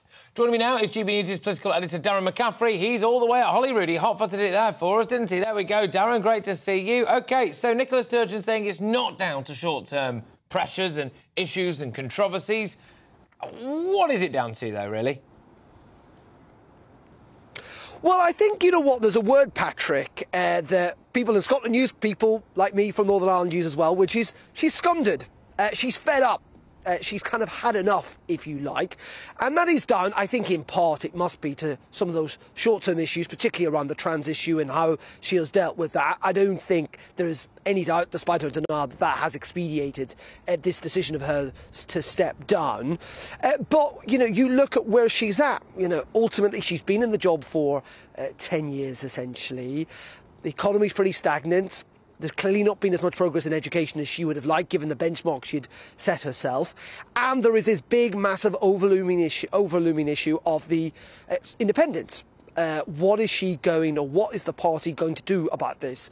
Uh, they are blocked in terms of the UK Supreme Court. It is clear the UK government's not going to give them a means of having this uh, second referendum. And there are divisions in the party about what to do next to push for this essentially de facto referendum at the next Westminster elections, which lots of people uh, think is slight nonsense. And so there doesn't seem to be a way through. And in the end, I think ultimately when you add all that together, maybe it is not a surprise that she's decided to call it a day, though of course she did insist in that press conference it's not going to be the end of her political career, uh, just her time as Scotland's First Minister, She should continue to campaign, not least of all for uh, Scottish independence. But in the end, wow, what a massive surprise, Patrick. We don't often get these in politics, actually, where people decide to step away voluntarily and surprise everyone else. We knew really it was coming probably to the end of her term in the sense that she might well step down after the next Westminster elections or mm. around the Holyrood elections, but not as soon as this. It has come really, frankly, as quite a surprise. And the big question now, as always with politics, is who the hell takes over? Yes, who, who the hell takes over indeed? And actually, a little bit later on, I'm going to be running through, well, the runners and the riders, as it were. Just quickly, Darren, uh, it was out of the blue. It was a bit of a shock. And I think it seems slightly suspicious, doesn't it, really, in some senses? And some people are saying, well, she was very quiet when asked a question in the press conference about the. Uh, Police Scotland, it's an investigation into allegedly missing money from the SNP funds. She was quite quiet about that, wasn't she? Yeah, I mean, and this involves primarily, it must be said, her husband, who is a really senior figure in the SNP and has been for years. In fact, effectively, those two ha- have ruled the SNP uh, for, as I said, the best part of a decade. Now, there are police investigations. Again, I I don't think anyone at the moment is joining dots saying that's the reason why, though it's clear also we don't really know uh, the full story. Uh, as I say, I think she kind of has effectively, Patrick, slightly reached a dead end. Now, let's be clear about this. There are a lot of people here who dislike Nicola Sturgeon. There are a lot of people who really like her as well. And there is no doubt she's been one of the most impressive politicians across these islands over the last decade or so. She's an incredible communicator. Uh, she has, in many ways, shifted the political debate uh, at here in Holyrood and indeed at Westminster. You only have to look at the tweets from lots of our political rivals to recognise that uh, she will be a massive, uh, massive loss to the SNP.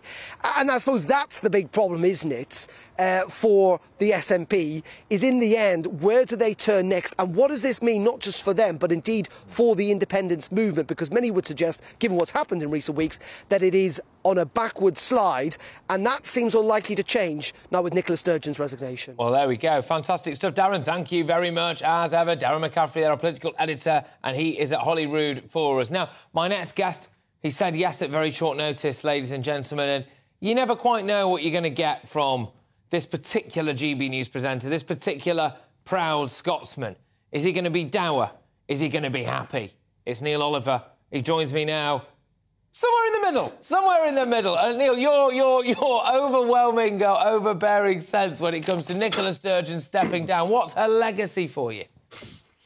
Well, I have to say, Patrick, it's good to see you, but I have to say, uh, if it's a victory for those of us uh, who knew how much damage Nicola Sturgeon and the SNP were doing to Scotland, then it's a Pyrrhic victory. Uh, you know, she's she and her SNP have been there for a very long time now, and you know, the, so much damage has been done. Scotland will take you know, even if the SNP were to were to disappear from the stage at the same time as First Minister Nicola Sturgeon, it will be generations before the, the hurt and the damage inflicted by them can heal. So it's uh, it's something. It'll be good not to hear her voice so often any longer, but the it'll be it's a long way back for Scotland from this point. Just run me through what you think the lowlights of Nicola Sturgeon's legacy are for you. You've alluded to damage there. What damage? well the whole thing really she i mean she i remember she went on and on for a long time about you know wanting to be judged by a record on education uh, education, a Scottish education when I was a kid was something that people bragged about. You know, you wanted it to be known the world over that you had been educated in Scottish schools and at Scottish universities. That's long since ceased to be the case under the under the rule of the SNP and Nicola Sturgeon, to such an extent that the SNP have taken Scottish schools off of the international league tables because our performance internationally is so lamentably poor. Uh, so, uh, you know, education has gone down the toilet under, under the SNP and Nicola Sturgeon. Uh, health is on the slide. You know, there are places in the east end of Glasgow where life expectancy for a Scottish man is lower than people in sub Saharan Africa. Drugs deaths are way up, crime is up. Uh, she, she, gets a, a, her infrastructure efforts, the, the two rusting hulks of ferries that have cost the Scottish taxpayer hundreds of millions of pounds, and there are still no ferries to replace those that, that were required, are required. Uh, the bridge across the River Forth, you know, that, that has to be closed when there's ice on the wires because of the, you know, the, the failures there. It's just a long, long list, and and but m- more profound, most profound is the is the ill feeling that's been that's been generated by all the years of uh, incessant calls for one referendum after another. Yeah that has harmed the society, the community spirit of Scotland. I mean, I wouldn't want to say irreparably, but very, very severely. And that kind of societal hurt will take a long time to fix. Well, I- indeed. I mean, I was floating quite jokingly, really, the idea now that it might be a good time for a snap referendum because, given the fact that independence is around 12 points behind in the polls, it might actually put it to bed for a long time. But of course, I don't really mean that. Neil, You've rattled off a huge list there, absolutely, and spot on in terms of some of the negatives you pointed out there. Why is it then that she was so good at winning elections?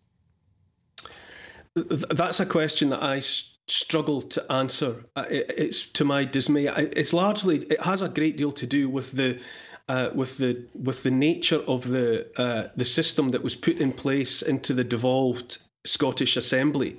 Uh, it was it was supposed to be a system that did not give, did not gift uh, an overall majority to any one political party. Uh, but it was such a hodgepodge, so badly designed by the by the Labour establishment that put it in place, thinking that they and they alone would bestride Scottish politics for an eternity, as they had done for generations previously. I don't think they thought that they had to take too much care over it because they thought that they would continue to run Scotland, and and you know obviously we all know what actually happened. Uh, so there was a it, it's an unfortunate quirk of the of the system that the SNP learned to game uh, to give them a disproportionate voice. This this incessant use, Nicola Sturgeon was at it again today, talking about the will of the Scottish people. The will of the Scottish people has never been for breaking up, breaking Scotland out of the United Kingdom you know, it was last meaningfully measured in, uh, you know, in 2014 with the referendum when the resounding result was that Scotland wanted to remain within this incessant way in which the SNP and, and Sturgeon have harped on and on about the will of the voice of the Scottish people when they never have spoken for the entirety of the Scottish people. They speak for the SNP and their supporters, who are a minority of Scots you know, I think to be honest with you, I heard you asking the questions uh, earlier uh, uh, of Darren. I, I, would say that she, um, she's gone now, and I think we saw Jacinda Ardern walk off the stage in New Zealand before yeah. she was pushed. I think in for for different reasons. I think we're going to see politicians around the world uh, in the same predicament. The, the, the last two years, which have seen mishandling of the entire world by overmighty politicians drunk on the power that the pandemic handed them. They caused immeasurable harm economically, to health, just to the spirit of nations. All of that's coming home to roost. And you think, and I think want... we're going to see. Yeah. I think we're going to see more and more rats leaving the sinking ships as far as their little legs will carry them. Neil, Neil, thank you very much, and thank you for coming on at short notice as well, and also a wonderful guest appearance from your dog behind you, which is a, a, a top dog, I must say. There you go. yes.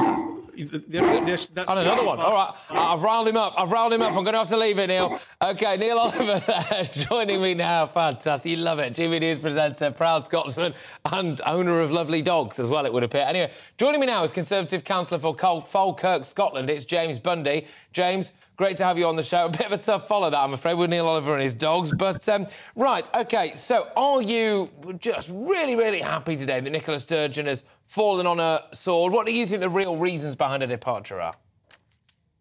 I'm not that particularly pleased um, because we still have an SNP Green government. Um, we have a government that claims to be stronger for Scotland, but increasingly seems to not understand Scotland. Um, they've just started an attack on the whisky industry with their proposed alcohol advertising ban and this botched deposit return scheme, which they want to push through despite industry saying it's an absolute disaster. Um, they want to build skyscraper uh, wind turbines across Scotland's beautiful landscape. Uh, Yeah. A, coun- a- a party, a government that claims to love Scotland, promote Scotland. Why would you ruin our key industries, our landscapes, our beauty?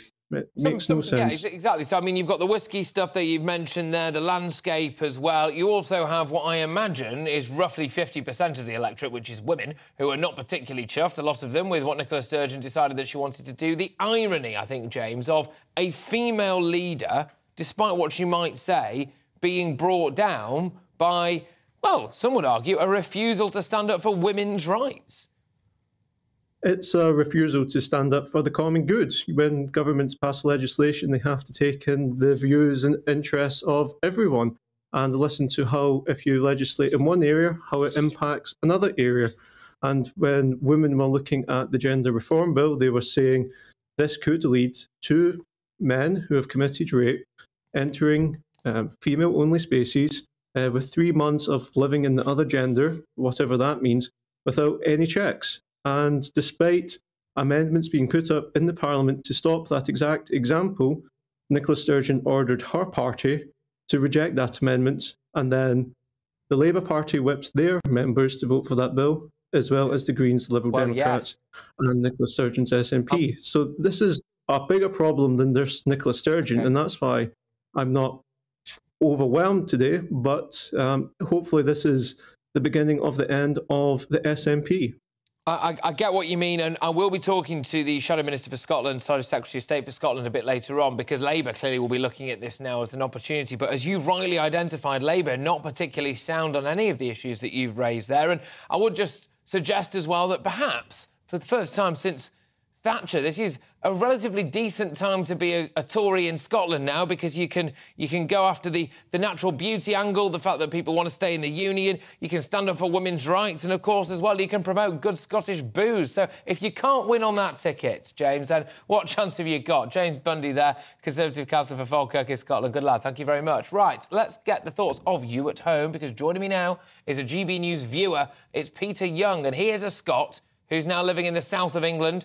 He's decided to uh, emigrate. I see. Thank you very much, Peter. What's your take then, as a Scot, on Nicola Sturgeon's resignation? Well, think obviously um, very good news, but I think that people have been praising her too much because really she was good on presentation, but not on substance.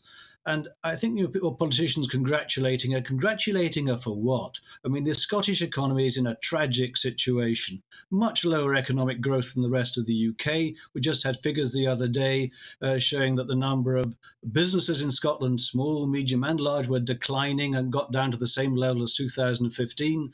That the decline in the Scottish uh, private sector is accelerating. I mean, look at the broader figures. That the the life expectancy in Scotland is two years below that in the rest of the UK and getting worse, which really indicates that they completely failed to tackle this urban deprivation uh, in the west of Scotland, particularly around the Glasgow area. That explains the, the similar figures to do with increased drug deaths, increased homelessness. So it's really been a tragic performance. And as Neil Oliver was saying, they really have majored on division, on mm. whipping up people to do on this independence issue to the exclusion of everything else.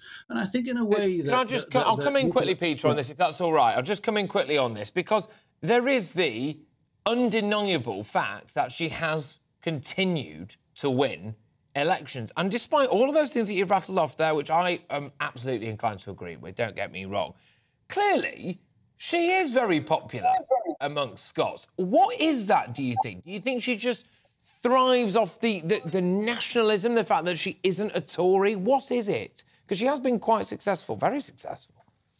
Well, I think the strategy has been to put the, the, the debate as independence versus um, uh, union versus staying in the rest of the UK. And the, the parties on the union side are split broadly into three liberal, uh, uh, Labour, and Conservative. And so if she can focus the debate on that issue of independence, however stupid it is and however uh, uh, appalling the performance of the Scottish government is, then she can stir up enough people perhaps um, uh, who, who better might better educate themselves on the details, but stir stir them up enough people to, to, to vote for the one independence party, which always beats the three uh, unionist parties. You know, I think in a sense though that her luck ran out. She was always trying to create division, and they thought it would be clever to create division over this gender issue. And that was a bridge too far. I mean, bloody stupid to put rapists into women prisons. Who on earth could have, could have thought that, was know, ever going you know to turn think, out Peter, well? You So know, I think you know Julie I lost suspect, touch. I suspect, Peter, it might be someone who's got drunk on their own punch, for want of a better phrase, because we were calling that early doors and saying, hang on a minute, I'm absolutely convinced that the vast majority of the Scottish public do not support this very niche gender thing. And, uh, you know, it'll go down in history, that image of four or five or six transgender men there at Holyrood, you know, in dresses or whatever, cheering at the fact this has gone through. Or the, the SNP and the politicians and the MSP standing up and turning around and applauding them. Well, there you go. I tell you what, you can clap Nicola Sturgeon on the way out, can't you? Because that policy, despite what she said, I think Peter did for her, didn't it? Yeah, she's she was losing her touch. She was drunk on power. That was a bridge too far. I think that whole business of taking the independence issue to the constitutional court was also a mistake. So she was just past her sell by date. She was still trying to stir up division, but the issues she was trying to stir up division about, like the gender thing, were not intelligent ones to run with. So she's uh, she's jumped before she was pushed. And thank God, you know, maybe there's a better chance for the Scottish people and the Scottish economy now. But Scotland needs to concentrate on the basics to do with the economy, the healthcare, education, and so forth. Thank you very much. Absolute pleasure. That enjoyed it thoroughly. Peter Young there is a GB News viewer. Right, you're with me, Patrick Christys on GB News, and coming up, we have got an exclusive for you because we're going to shed some light on the extreme avoidance tactics being used by people smuggling gangs to get migrants across the channel in small boats to evade border force. And police say there's still no evidence to indicate a criminal aspect or third party involvement in that mysterious disappearance of Nicola Bulley. They're claiming speculation now, dished out by the public, might even be hampering the police operation. I think that's a risky game for the police to play, that turning the public against them, possibly. Look, got your weather now then.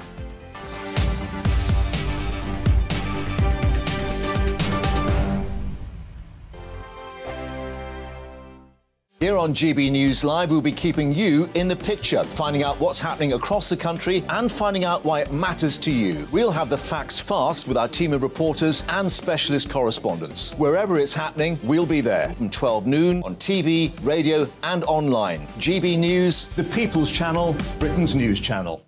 I'm Andrew Doyle.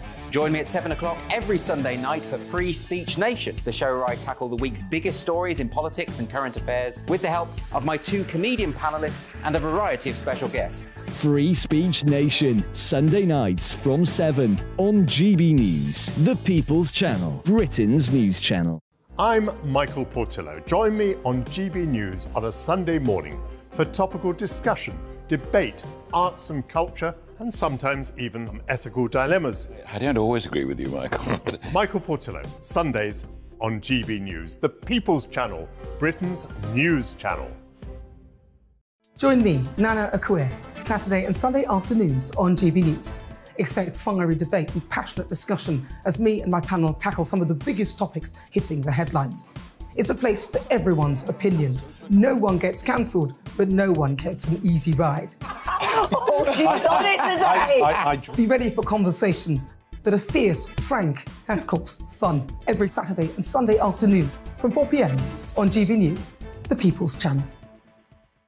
We are GB News, and we'd like to say thank you to each and every one of you for bringing us your conversations, for helping our great nation find its voice. We are here for you on radio, television, and online across England, Scotland, Wales, and Northern Ireland. It's not the BBC, you know, you actually get your facts right. We are proud to be GB News, the People's Channel, Britain's news channel.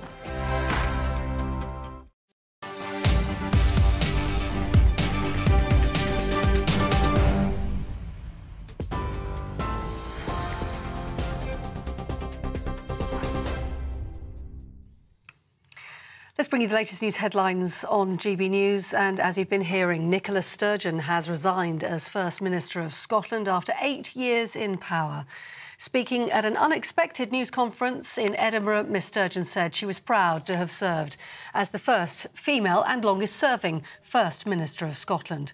Miss Sturgeon acknowledged that the move might seem sudden, but she denied it was due to short term pressures and said she'd been wrestling with the idea for some weeks. To be clear, I'm not expecting violins here, but I am a human being as well as a politician. And the nature and form of modern political discourse means that there is a much greater intensity, dare I say it, brutality to life as a politician than in years gone by.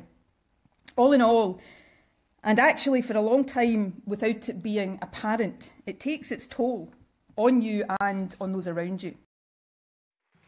In separate news, the Labour leader has apologised on behalf of the party for its handling of anti Semitism complaints under his predecessor, Jeremy Corbyn. Sir Keir Starmer confirmed Mr Corbyn will not be standing for Labour at the next general election. And the Equality and Human Rights Commission announced it will end its monitoring of the party two years after finding it was responsible for unlawful harassment and discrimination. Lancashire Police say there's still no evidence to indicate a criminal aspect or third party involvement in Nicola Bulley's disappearance. The 45 year old has been missing for 19 days. She was last seen walking her dog along the River Wyre after dropping her two daughters at school. Detectives say Nicola is listed as a high risk missing person due to a specific number of vulnerabilities. Those are your latest news headlines. I'm back in half an hour. See you then.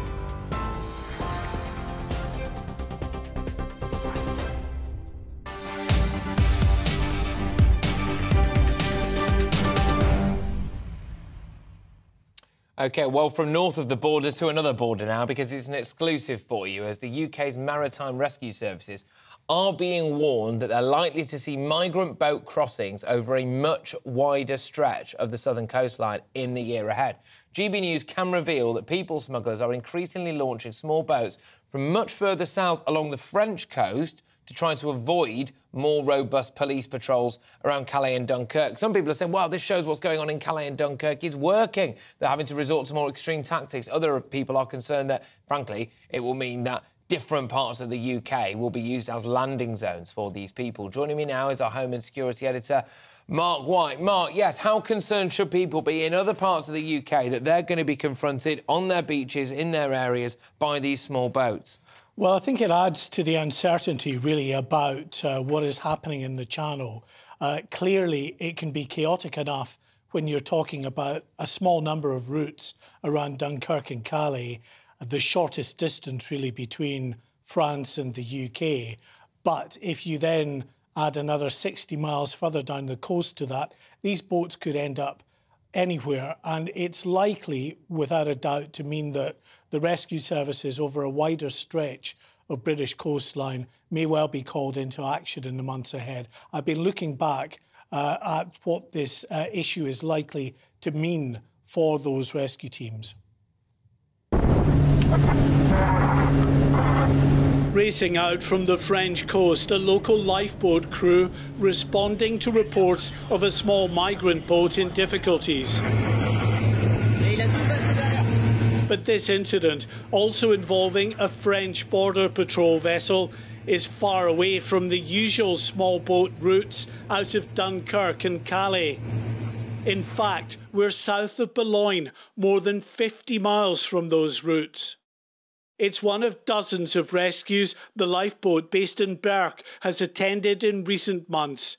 A major uptick in activity as people smugglers attempt to avoid increasing police patrols further north. The numbers have been rising. At the end of 2021, we were involved in many migrant rescues. During 2022, there were significantly more migrants. The further they have to travel by boat, the higher the risks. Travelling from down the coast brings extra dangers. Being in the water for longer brings the danger of hypothermia and even being hit by bigger boats. For the people smugglers, increased police activity around Dunkirk and Calais has made their regular launch points more difficult to operate from. French authorities are also busy erecting miles of extra security fencing around those beaches, and that's driving the small boats further south. For years, the criminal gangs have predominantly used the shortest route to the UK, pushing off first from the beaches around Calais, then expanding to include areas near Dunkirk. While occasional boats have been launched further south, in the past six months, this route, using beaches near Boulogne, has seen a significant spike in activity. With a beach even further south near Fort Mahon also now regularly being used. And for maritime patrols in UK waters, that means a far greater likelihood that small boats will begin showing up on a much longer stretch of UK coastline in the year ahead. It'll mean rescue teams across a wider area being called out more regularly to boats that have been in the water for many hours it does put a lot of pressure on the, the resources. You know, these boats are constructed for one purpose to shift mass numbers of people, but they're designed, you know, constructed very poorly. They're not expected to be standing up to any real sea conditions, the amount of, of people that they are uh, loaded with. So by crossing from further south and spending longer at sea, every second that they're at sea longer than they need to be is just going to increase that risk and that chance of, of another of another disaster. There's little doubt, say maritime rescue experts, that those making small boat crossings from further down the French coast will be at far greater risk, with predictions that up to 80,000 people could attempt to cross in the year ahead authorities on both sides of the channel will be stretched to the limit. Mark White, GB News. Well, there we go. The man himself joins me now. Mark White, our Home and Security Editor, is with me in the studio. Mark, really interesting that, that different parts of the UK now might be hit by the migrant crisis. But what is the state of play at the minute in all of this? It's important not to lose sight, is it, of, frankly, how things have been going already? Yes, um, we've had really two and a half to three months of pretty bad weather uh, with odd breaks in the weather. Every time there's a break in the weather, it's very good and flat calm out there. We get very significant numbers coming.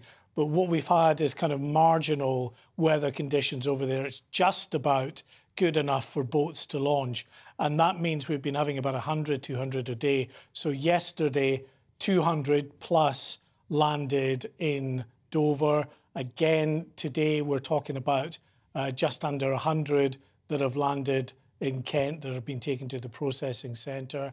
For the year so far, we're about two and a half thousand migrants who've come across. Now, that's clearly a long way short of the almost 46,000 mm. who came across last year.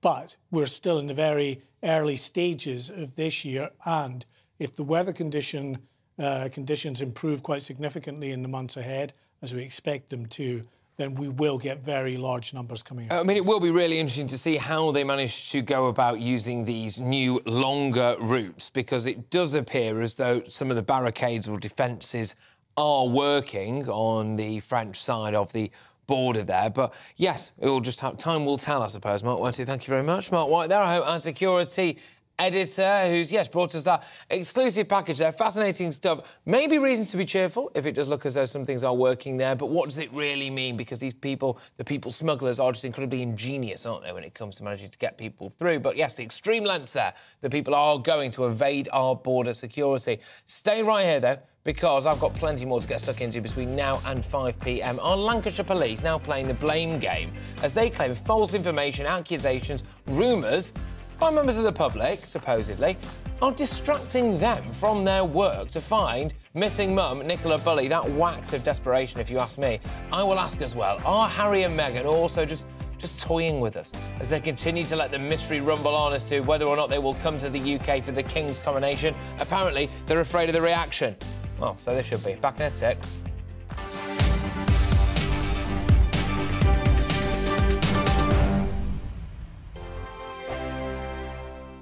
It's all about family, being in people's living rooms, all the interaction and getting to know who our viewers and listeners are. When I was young, my dad used to say, Nana, stop arguing. I wanted an outlet that would enable me to give my opinion. People are going through a really hard time right now, and I know that you don't feel like you're being listened to by the establishment. I came to GB News because it's the People's Channel, and I want the audience to have their say on the events of the day. We're dynamic. We do something different. Democracy shows that the wisdom of the nation is in its people. I get to travel to find out what the story is from a personal perspective. The British people aren't fools. We know when we're not being told the full story. We've got to work out how Britain moves forward from this. It's the best country in the world. The establishment had their chance. Now we're here to represent your views. Britain's watching. Britain's watching. Britain's watching. We're proud to be GB News, the People's Channel, Britain's news channel. Hi, Andrew Pierce here. Join me every Friday lunchtime for a proper no nonsense debrief of the week's events. With special guests in the studio and the GB News team on the ground, I'll be getting you up to date with news, some intelligent discussion, and my own sharp take. The weekend starts here with me every Friday lunchtime on GB News, the People's Channel, Britain's news channel. I'm Andrew Doyle. Join me at 7 o'clock every Sunday night for Free Speech Nation, the show where I tackle the week's biggest stories in politics and current affairs with the help of my two comedian panelists and a variety of special guests. Free Speech Nation, Sunday nights from 7 on GB News, the People's Channel, Britain's news channel. Join me, Patrick Christys Monday to Friday, 3 till 6. We tackle the day's news agenda like you've never seen before. It's high tempo, high octane, the most controversial topics, and the best guests. You will not be able to take your eyes and ears off it. I'm not afraid to ask the questions that you really want answered. 3 till 6 pm, Monday to Friday on GB News, the People's Channel, Britain's news channel.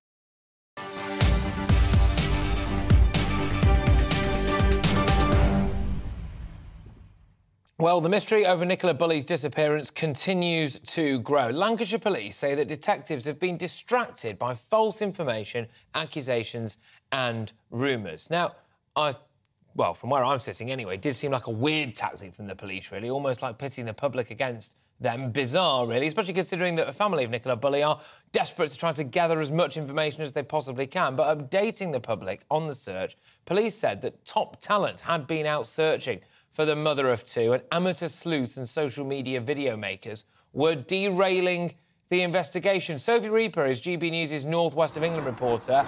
You've been following this story. I believe you're at that press conference as well, weren't you? And you join us now from Lancashire. Sophie, thank you very, very much. I mean, the mystery continues to grow around this. The police saying that you know, it was treated with high priority. There were specific vulnerabilities. I mean, it's all...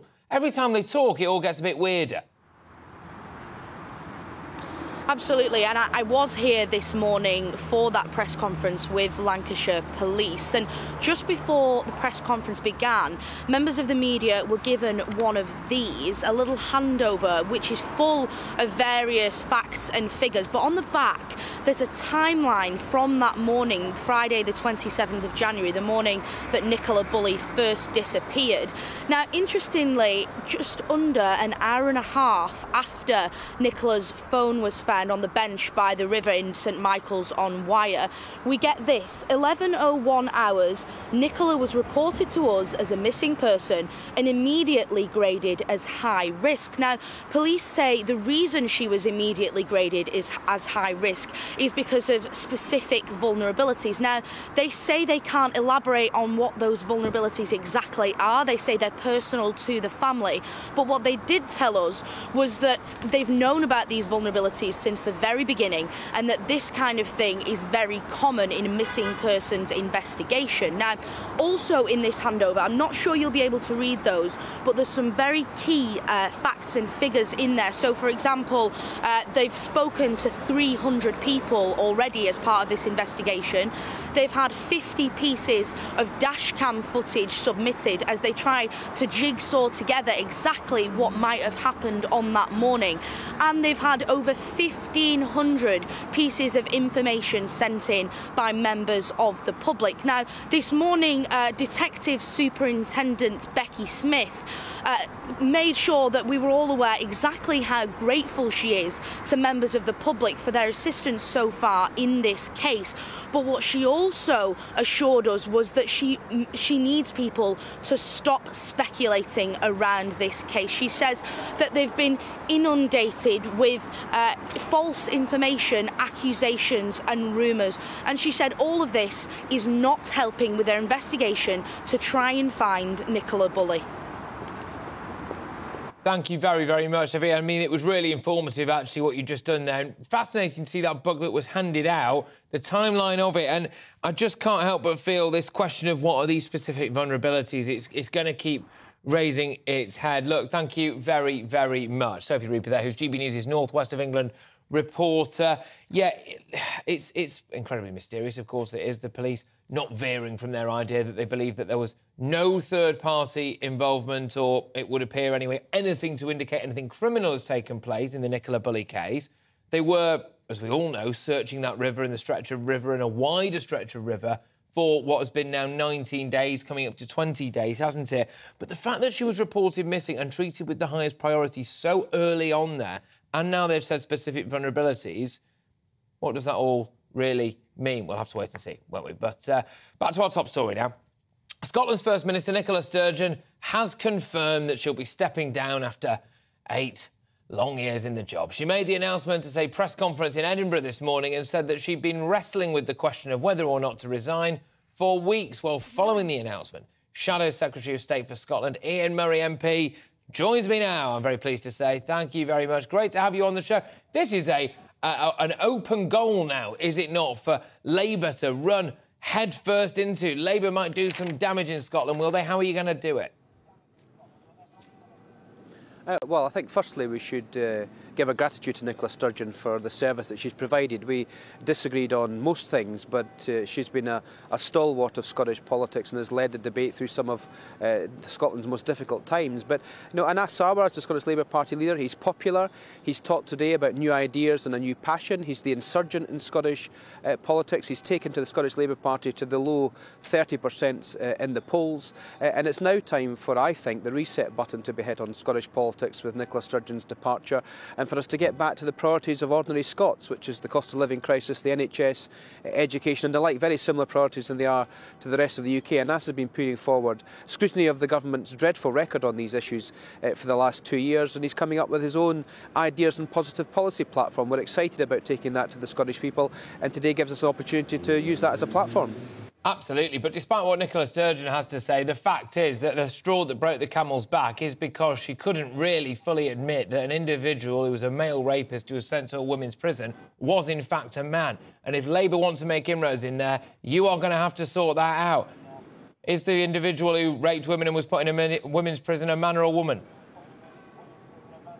Well, I think it's quite clearly it was a, a man who was trying to portray uh, himself as a woman and using uh, the law and manipulating the law uh, to do so. But I think the big question here, and I think Nicola Sturgeon touched on this in her press conference, if you listen to it carefully, was twofold. One was she's lost control of her party. We've seen that here with uh, Ian Blackford uh, being taken out as the Westminster uh, leader for the SNP and replaced by Stephen Flynn, who was not Nicola Sturgeon's uh, choice for the role. And we've seen that she's lost control of the de facto referendum that she wanted to turn the next general election into. So when you put all that together, she's lost control of the party, she's lost control of the only issue she went into politics to do to deal with independence. And her record in government is pretty appalling. In fact, I think she even struggled herself today to say what her legacy was as, after eight years as First Minister. She, to be fair, she did actually, and she was clinging to the idea of the baby boxes and all of this stuff, which I'm look, it's a nice touch, don't get me wrong. But at the same time, after that length of time in office, I suspect that it would have been or should have been a, a, a stronger legacy. I'm just going to ask you one more on this, and then I will, I will move on to other topics when it comes to what's going on north of the border. But, you know, Labour did help wave through the thing that has led to Nicola Sturgeon's demise, this Gender Recognition Act. I mean, do you regret that now? Because you will forever be linked with what is an absolute disaster. Well, Labour didn't wave it through. We, uh, as an opposition party, have to deal with what's in front of us, not the way we would uh, do it ourselves. We got the Equality Act on the face of the bill, which uh, the Equality Act does allow for the discrimination against uh, trans people as exemptions to the Equality Act to protect single-sex spaces. We got that as an amendment on the face of the bill. We've got protections for 16 uh, and 17-year-olds on the face of the bill, and we've got additional uh, guidelines and protections on the face of the bill in order to protect women and to protect trans people. So it wasn't an ideal piece of legislation. It wasn't dealt with properly. The Scottish Government didn't bring uh, people together, uh, and we backed our amendments to get that uh, to get the amendments on the face of the bill. That was the right uh, thing to do to get those amendments on a bad piece of legislation. Uh, and now the Section 35, which we're not opposing, is down on the table to stop the piece of legislation because of cross-border issues. I think that was the the right thing to do, and uh, and Assar has been pretty clear on that. And you mentioned Nicola Sturgeon's legacy, really, and what she leaves behind. 68% more people going to private healthcare and to try to swerve the NHS up there in Scotland. The attainment gap, which she was quite squiffy on when she was doing her legacy element of her speech there, actually isn't particularly great. The drug death stuff gets wheeled out left, right, and centre, doesn't it? You don't need me to tell you that. Even potholes, apparently. Potholes supposedly are at one of the worst levels ever in Scotland. Who knew? But there we go. And independence, the cause for independence now 12 points behind in the polls. This is a good opportunity for Labour. If Labour gets Scotland right, it could actually give them the keys to Downing Street, couldn't it? Well, and that's the message to Scottish voters. They are desperate for a UK Labour government. We are desperate to prove that a UK Labour government can transform the whole of the UK and really change Scotland uh, for the better. And the list of things that you've just read off there is the legacy of 15 years of SNP government uh, in Scotland. The reason there's potholes all over Scotland is because they've absolutely decimated local authority funding, who've no funds whatsoever to run basic services, let alone fill potholes in in the street. And that's the legacy that this First Minister leaves. It's up for us now, and Anas Sarwar and Keir to put forward that positive, pragmatic uh, and progressive policy platform that everyone wants to see that can show that the UK Labour government can transform Scotland and be a UK Labour government for the benefit of the whole of the UK uh, and to show that the Scottish the priorities of the Scottish people are our priorities and not to get dividing Scotland on the issue of the constitution. We need to bring people together and do what's in the very best interests of the whole of Scotland and that's what Anas was determined to deliver. It could be argued, given the polling data when it comes to independence at the minute, 12% behind on, in the polls, that now might be a good time to have a snap independence referendum because you would put it to bed once and for all, wouldn't you? Would you be in favour of that? I just think there's huge priorities out there that are nothing to do with the Constitution. I'm sure your viewers and anybody who's interacting with Scottish politics at the moment would like us to talk about how people are going to pay their heating bills, how we're going to get through this interest rate crisis, the inflation crisis, the jobs crisis we all have in this country, and the crisis in our uh, public services. The last thing we need to do is to go into six months right. of more division, more economic wrangling, more wrangling over the Constitution, uh, when it's not a priority for Scots, and there's bigger issues that politicians need to be concentrating on. That's why I think today should be used as a reset button for the whole of Scottish politics to get okay. on with the priorities of the Scottish people. Ian, thank you very much. Enjoyed that. Ian Murray there, MP, who is the Shadow Secretary of State for Scotland. Interesting to get Labour's take on this. Labour are in a fantastic position in Scotland, quite possibly. Yeah, they did get some amendments added to that Gender Recognition Act, which is an absolute shocker, let's be honest. So that just kind of get them off the hook a little, a little bit with that. And yeah, frankly, if they do well in Scotland, which they may well end up doing now, then it could give them the keys to Downing Street.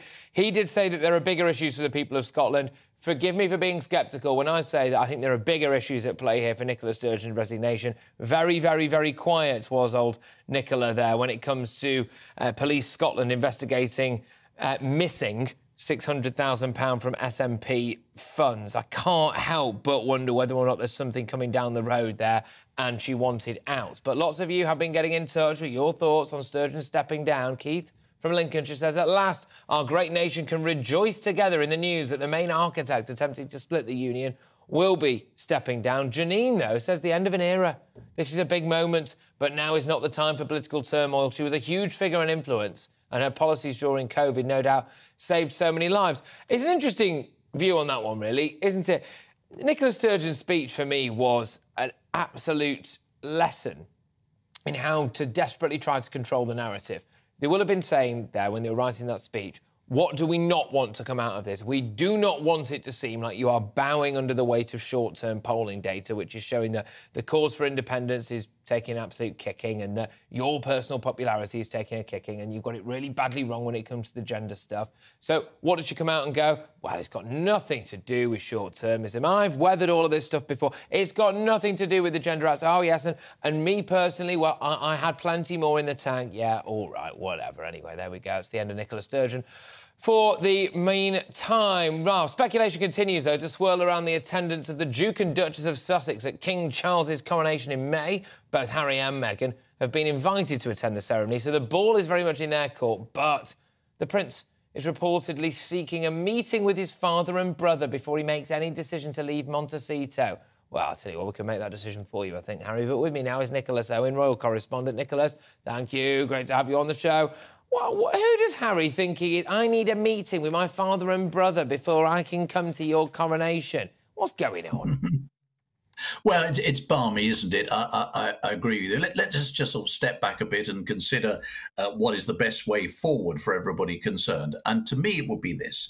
Of course, they get an invitation. They must be seen to be invited. And let's make as much as we can of the fact that they are welcome to come to this uh, coronation, uh, and we'd love to we'd love to see them in rather heavy quotes. I think Patrick there, and then the response from them should be, "Thank you very much, but we do not want to distract." We do mm. not want to draw attention away from what is a most historic and important event in all of our lives, and certainly in the lives of the royal family.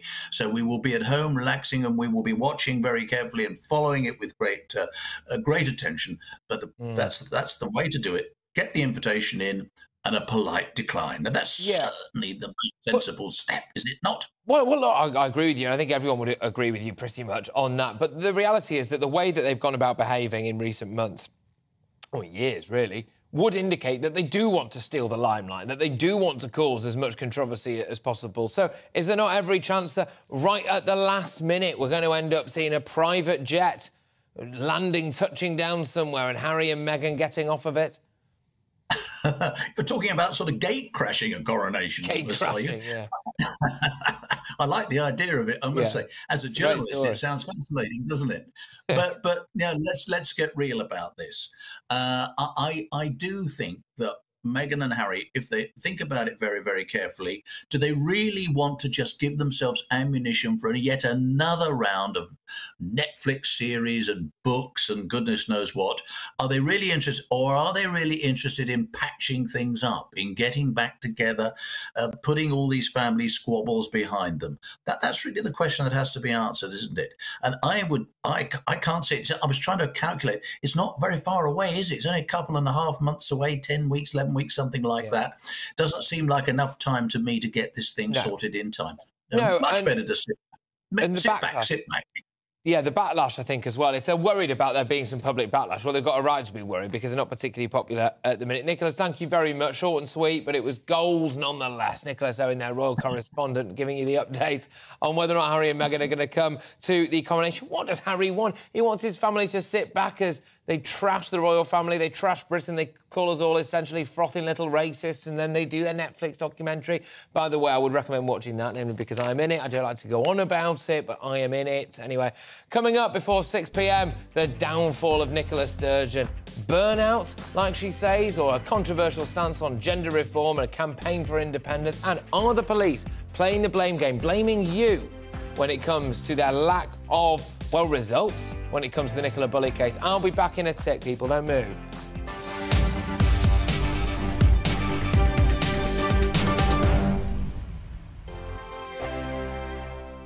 We are GB News, the People's Channel. And right across the United Kingdom. You can find us on Sky Channel 512, Virgin Media Channel 604, Freesat Channel 216. Freeview channel 236 and YouView channel 236. You can also take us with you on DAB Plus Radio with the GB News app and at the website gbnews.uk. We're absolutely everywhere. Come join us on GB News, the People's Channel, Britain's news channel.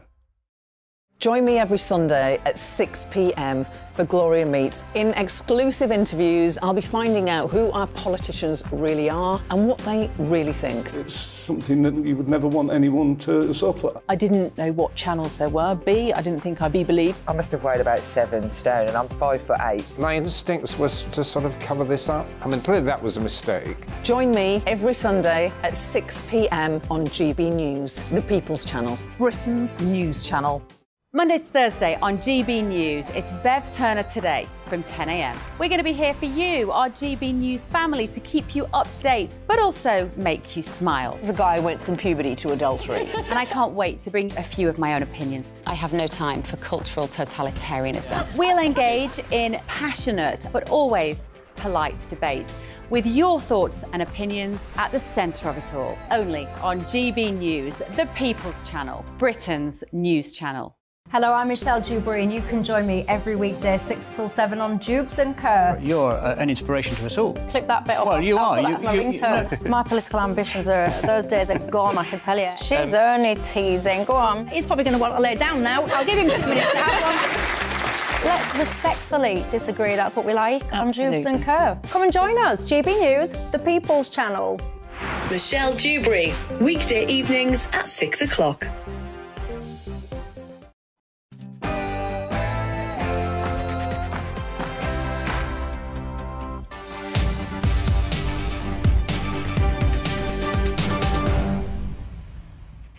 Welcome back, everybody. It's five o'clock. You're with me, Patrick Christys on GB News, and what a time to be alive, everybody. Nicola Sturgeon has resigned, but despite pressures on her stance on gender reform and independence, she is adamant, adamant, I tell you, that that has got nothing to do with her downfall.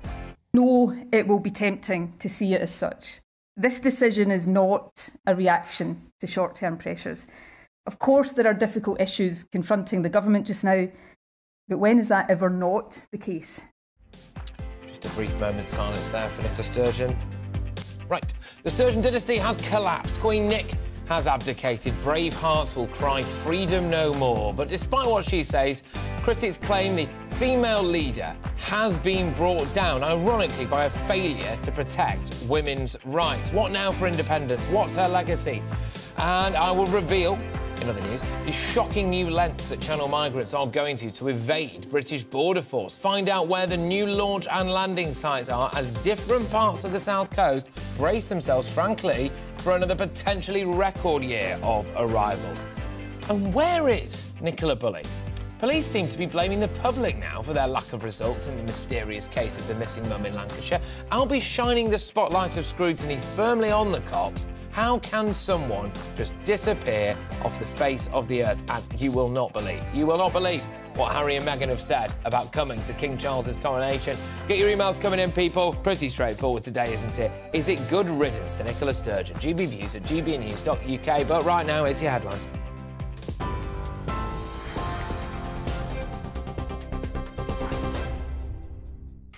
Patrick, thanks very much indeed. And the top stories on GB News this afternoon, as you've been hearing, Rishi Sunak has thanked Nick. Nicola Sturgeon for her service after the First Minister made a surprise announcement she was to step down after eight years in power. Ms Sturgeon said she was proud to have been the first female and longest serving First Minister of Scotland. She'll remain in the role until her successor is appointed. Ms Sturgeon acknowledged that the move might seem sudden but denied it was due to short term pressures and said she'd been wrestling with it for some weeks. To those who do feel shocked, disappointed, perhaps even a bit angry with me, please know that while hard, and be in no doubt, this is really hard for me, my decision comes from a place of duty and of love. Tough love, perhaps, but love nevertheless for my party and above all for the country. Well, the Deputy Leader of the Scottish Conservative Party, Meghan Gallacher, says the gender reform bill was part of Sturgeon's downfall. It was a deeply unpopular um, policy, and as you say, Nicola Sturgeon failed to take into account the concerns raised by women across the country, and she even um, said that those concerns were not valid. So I think when you look um, at the, the position that she put herself in, she backed herself into a corner um, because she ended up defending the indefensible. Now, the Labour leader has today apologised on behalf of his party for its handling of anti Semitism complaints under his predecessor, Jeremy Corbyn. Sir Keir Starmer also confirmed Mr Corbyn will not be standing for Labour at the next general election. And the Equality and Human Rights Commission announced it'll end its monitoring of the party two years after finding it responsible for unlawful harassment and discrimination. Sir Keir Starmer said action, not just an apology, was needed. To all those who were hurt, to all those who were let down, to all those driven out of our party who no longer felt it was their home, who suffered the most appalling abuse. Today, on behalf of the entire Labour Party, I say sorry. What you've been through can never be undone. Apologies alone cannot make it right. Now, in other news today, Lancashire police say there's still no evidence to indicate any criminal aspect or third party involvement in the disappearance of Nicola Bulley. The 45 year old mother of two has been missing for 19 days now. She was last seen walking her dog along the River Wyre after dropping her two daughters at school. Detectives say Nicola was listed as a high risk missing person due to an undisclosed number of specific vulnerabilities. The lead investigator, Rebecca Smith, says the investigation is ongoing. I hope with all my heart that we find Nicola Bulley alive more than anything. The likelihood is that Nicola has unfortunately gone in the river. However, I have to stress this because this has been continually misconstrued. I cannot be 100% certain of that at the minute because we are continuing. It's a live investigation and there is always information coming in. Union leaders have said further strikes by teachers will go ahead after disappointing talks with the Education Secretary.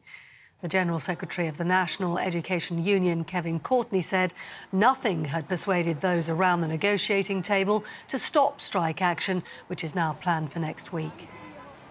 Parents know that their children's education is being disrupted every day, and our action has a higher moral purpose that we are, we are trying to get the government to invest in this generation of children, not just tell us they'll invest in a generation of children in the future. They need to invest in the kids in the schools now in order to help improve their education. International news and six reportedly Russian balloons have been spotted across Ukraine's capital.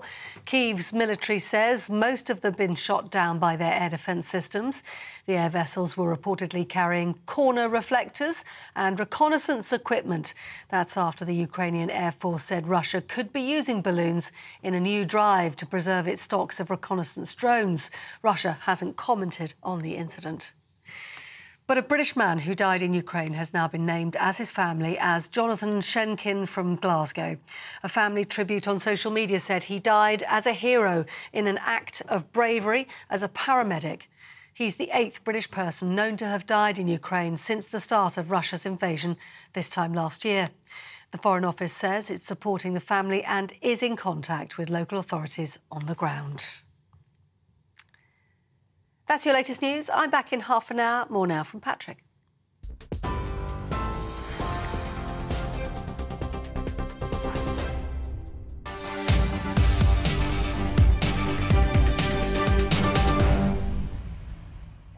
Well, this afternoon, the Prime Minister Rishi Sunak has declined to say whether Nicola Sturgeon's resignation was a blow for Scottish independence. I mean, it is as he insisted voters want to see the Scottish Government and Westminster working constructively together on the priorities that really matter to people. Scotland's First Minister announced that she'll step down after eight long years in post. She claimed she'd been wrestling with the question of whether or not to resign for weeks. This is, of course, in contrast to suggestions that she quit because of a backlash from a former, sorry, from a controversial gender reform bill, I should say, and also as well potentially a couple of bits and bobs that are coming down the road in relation to the SNP's finances, which will make for gripping viewing in a matter of months' time. Joining me now is GB News' political editor Darren McCaffrey. He's at Holyrood for us. Darren, thank you very much. Yes, so Oh, Rishi Sunak refusing to say that it's damaged Scottish independence, probably because he doesn't want to rile up the nationalists even more. Yeah, well, I think there is any doubt, as you've noted, Patrick, that this is a blow, I think, to the independence movement. There is little doubt that Nicola Sturgeon has been not just its key advocate, but probably its best advocate in many ways over the last decade or so. She is an incredible communicator. I would suggest the best political communicator uh, on uh, this island or on these islands, uh, certainly uh, of the last 10 years or so. And clearly, her disappearance as First Minister of Scotland will be a blow to the independence movement. Now, she insists she's not going to leave the political stage entirely. She is going to continue to fight for the cause that she's fought for for the last uh, 40 years. Uh, but the big question is, she's going to leave behind a big pair of shoes. Who is going to fill them? Now, why she left? She says she does so with a heavy heart because she knows going forward she's just not going to have the kind of same drive, if you like, to do the job with the same energy that she thinks is necessary. And I think there is an element of truth to that. I think she is probably tired and a bit fed up. She's kind of probably seen it all and done it all, and she probably does want to move on. Uh, you know, being at the top of the political game for a decade is a long time, and it I'm sure it does sap the energy out of you, but also be in no doubt that politically she's in a very tricky situation at the moment. The health service here in Scotland, like the rest of the UK, is not in a terribly good state. She had set standards in terms of education attainment that she frankly hasn't uh, reached. And there is that big question about precisely what will the SNP do when it comes to the independence argument. Where do they turn next? At the moment, they're boxed in effectively by the UK Supreme Court, saying that they cannot legally have a second referendum here, and the UK Parliament saying we're not going to grant you one, and the SNP frankly don't have an easy answer yeah. Uh, to that. There have been suggestions that she wanted to use uh, the next Westminster election as a de facto referendum. There are many within the SNP who don't want that. So she is going to leave a big gaping hole in Scottish politics, there's no doubt about that. And that raises big questions for the SNP and big questions about where the independence movement here in Scotland turns next. Yeah, Darren, look, call me a cynic, call me a cynic, but I can't help but feel as though the fact that there is a, a Police Scotland investigation into a missing £600,000 from SNP funds might have some kind of bearing on a decision. Yeah, you know what? In the end, Patrick, I honestly don't know the answer to that, but you're entirely right in saying there is this investigation. It primarily involves uh, her, her, husband, who is, by the way, a senior member uh, of the SNP and has been effectively ruling this party along with Nicola Sturgeon uh, for the best part of a decade. At the same time, you add into the fact have recent events, i.e., rise around the gender recognition uh, bill uh, and the arguments around all of that, have they had an impact? I think they have. Nicola Sturgeon insisted some of those short-term things did not have an impact. This is something she's been thinking about for a while. I think it would be wrong to suggest that it didn't have any impact at all. So this is a whole myriad of reasons uh, why she's decided to make this decision today. But wow, was it a shock, Patrick? And we don't often get resignation shocks uh, in politics, but today really was a real surprise. And again, I come back, many people like Nicola Sturgeon, a lot of people do not like her, but it is a sign of her political gravity uh, and her gravitas. Uh, that she has had a whole series of tweets and messages and interviews today from politicians from across the board who, while politically disagreeing with her, have at least recognised the impact that she's had on politics, not just here in Scotland, but across the whole of the UK. OK, Darren, thank you very much. Darren McCaffrey there, our political editor. I've been asking you at home, ladies and gentlemen, whether or not you think it's good riddance to Nicola Sturgeon. GB Views at gbnews.uk. Peter thinks so. She was a divisive figure in Scottish politics, so I'm glad she's gone. She never accepted the once-in-a-lifetime independence vote. Yeah, OK, fair enough. Uh, the bigger picture now is that Sturgeon uh, has been knocked off her perch. Yes, indeed. That's from Ian. Good stuff. Quite a lot of Scots getting in touch, actually. Great to know that we're quite big in Scotland, unlike Nicola Sturgeon anymore these days. Oh, you hate to see it, don't you? Uh, support for independence is now below the 45% mark recorded. So, yes, would be 44%, which is done for I think, as well, partly. And interesting polling this as well, which is uh, a poll over the weekend found that 42% want the SNP leader, wanted the SNP leader to stand down immediately. Those figures are pretty stark. Then you add to that as well the Alex Salmond case as well. Mysterious incidents there, wasn't you? Oh, I couldn't recall all the conversations I had with Alex Salmond. I couldn't recall it. Then someone goes, hang on a minute, Nicola, did your husband give a hundred grand to the, the party? Well, I don't know about my husband's finances. He's top of the party there. She lives with him. No idea about a hundred grand. I mean, I dare say I would have a thing or two to say if my missus decided to part with a hundred thousand pounds and not let me know about it. So that is fascinating. And as well, there is of course the ongoing investigation into the missing, quotes unquote, missing six hundred thousand pounds from SNP funds possibly time to go, Nicola, I think. Possibly time to go. Joining me now is Michael Simmons, a data journalist at The Spectator. Thank you very much. Great to have you back on the show. Look, what we haven't spoken about yet in the show is who are the runners and riders to fill in for Queen Nick? Who's going to take over, do you think? So um, Ladbrokes were quick out of the kind of shots with um, some odds this morning, and their favourite is Angus Robertson. Um, and he was once the Westminster leader of the SNP, but he, he lost his seat in the general election uh, to Douglas Ross. Uh, and he found his way back to Holyrood. Um, and he's now very much the sort of establishment character. He's probably who the kind of Sturgeonites will want to want to put in place um, as their leader. Um, he's had battles with Joanna Cherry though in the past over his selection for his current seat. So he's although he's the kind of out and out favourite, he'd mm. be a controversial choice. Any noises about Humza Yousaf? Yeah, so Humza Yousaf is currently the kind of embattled um, health secretary, uh, and he is in there. He's about sort of fifth in the in the running um, in the odds. Um, but again, Humza Yousaf is quite a controversial character. He's had trouble in the past. He was found to be driving without insurance when he was the transport minister. Um, and there has been, uh, you can read in The Spectator tomorrow, some talk about um, how he's sort of perceived by, by his staff. Um, so again, a possible runner and rider, uh, but again, quite a controversial choice. Yes, and there was, of course, an incident at a nursery school that we, we, won't, we won't mention. Um, OK, yes. all right, so when it comes to the uh, Scottish independence side of it, for example, Michael, you as a data journalist, you look at the polls, you crunch the numbers. Is this a win for people who want to keep the union together? Sturgeon, frankly, just packed it in, and with it, poof, there goes Scottish independence? Um, I'm not going to say you know there goes Scottish independence, but it is certainly a blow to the to the sort of independence movement. Mm. Um, Sturgeon had a, a, huge sort of personal cult following and personal um, kind of popularity. I think even if you disagree with her, she she was a great kind of effective communicator. So a lot of that power and sort of that voter base who maybe aren't die-hard independent supporters but were just fans of Nicola Sturgeon will kind of go away. And one thing that really uh, you know illustrates this, there was a poll at the weekend about who P- SNP members would want to take over, mm. um, and I think that the highest person was Kate Forbes, but she only had about seven percent of the poll, and Don't Know had sixty nine percent. So that just shows you how much of a gap there was between Nicola Sturgeon and the other potential candidates. Yeah, potentially trying to secure her legacy if the SNP does crumble. It's a little bit like what I would call the Sir Alex Ferguson effect. OK, you leave and then you realise there's a vacuum beneath you. Nobody does well for quite a while, and your own reputation is even further enhanced than it was to begin with. Just in terms of, I suppose, the vital question, Nicola Sturgeon desperately trying to control the narrative on her departure that It was nothing to do with these short-term issues. You might think it was, everyone might think it was, but I can guarantee you it was nothing to do with the fact that I've made a right horlicks of things recently.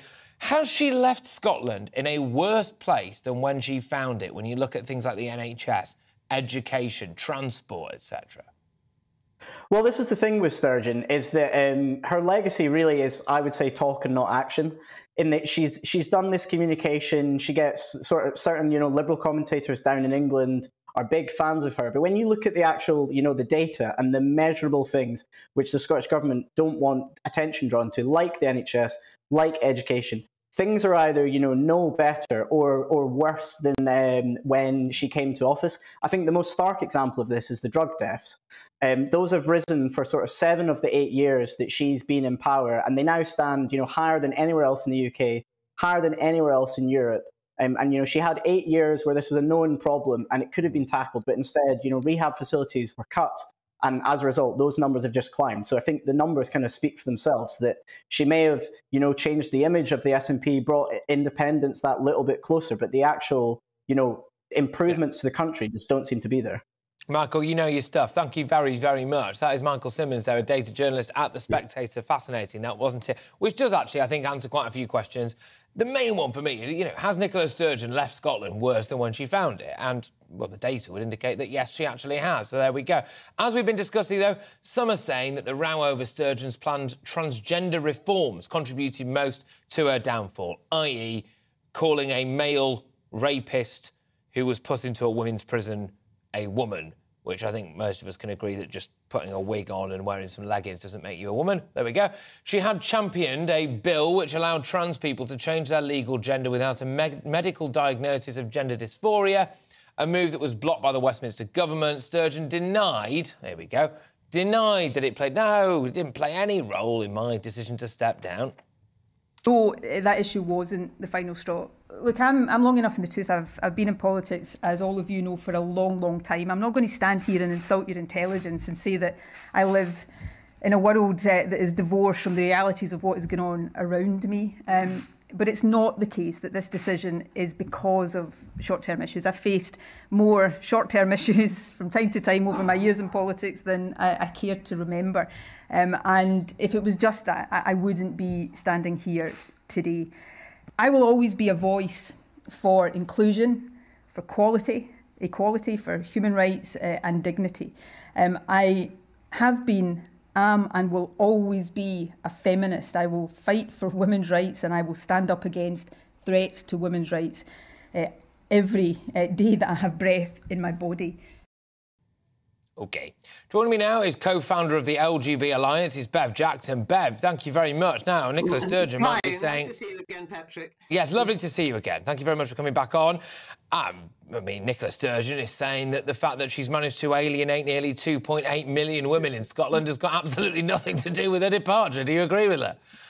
Well, no, I don't think so. I think there's, uh, there's a bit of a porky there. She's quite good at that. As we heard uh, Laura uh, in an interview with Laura Kuenssberg just a few weeks ago when she said she was very, very far away from from being uh, um, from, from feeling that she, she wanted to step down. So I think it's quite clear what's happened. And everybody saw the moment at which she was asked whether this uh, um, rapist, this uh, now call it, calling um, himself Bryson, whether whether he was a, a, man or a woman. And, and she broke into a kind of hysterical little giggle and then invented the third gender rapist. And uh, uh, she couldn't answer it. And at that point, um, it became clear to everybody. I think the whole house of cards came came tumbling down, or to use a different metaphor, I think everybody could see the emperor has no clothes. You can't you can't de- uh, define yourself. If you suddenly tell me that you, that you're a woman, uh, you, you, you know it, it's it's absurd that I should have to believe that, and that the whole of, of, of our laws should have to be rearranged but, to accommodate that. It simply makes no sense, and I think the whole society saw that at that time. Yeah, but Bev, in in a way, in a quite morbid way, potentially it's a good thing that this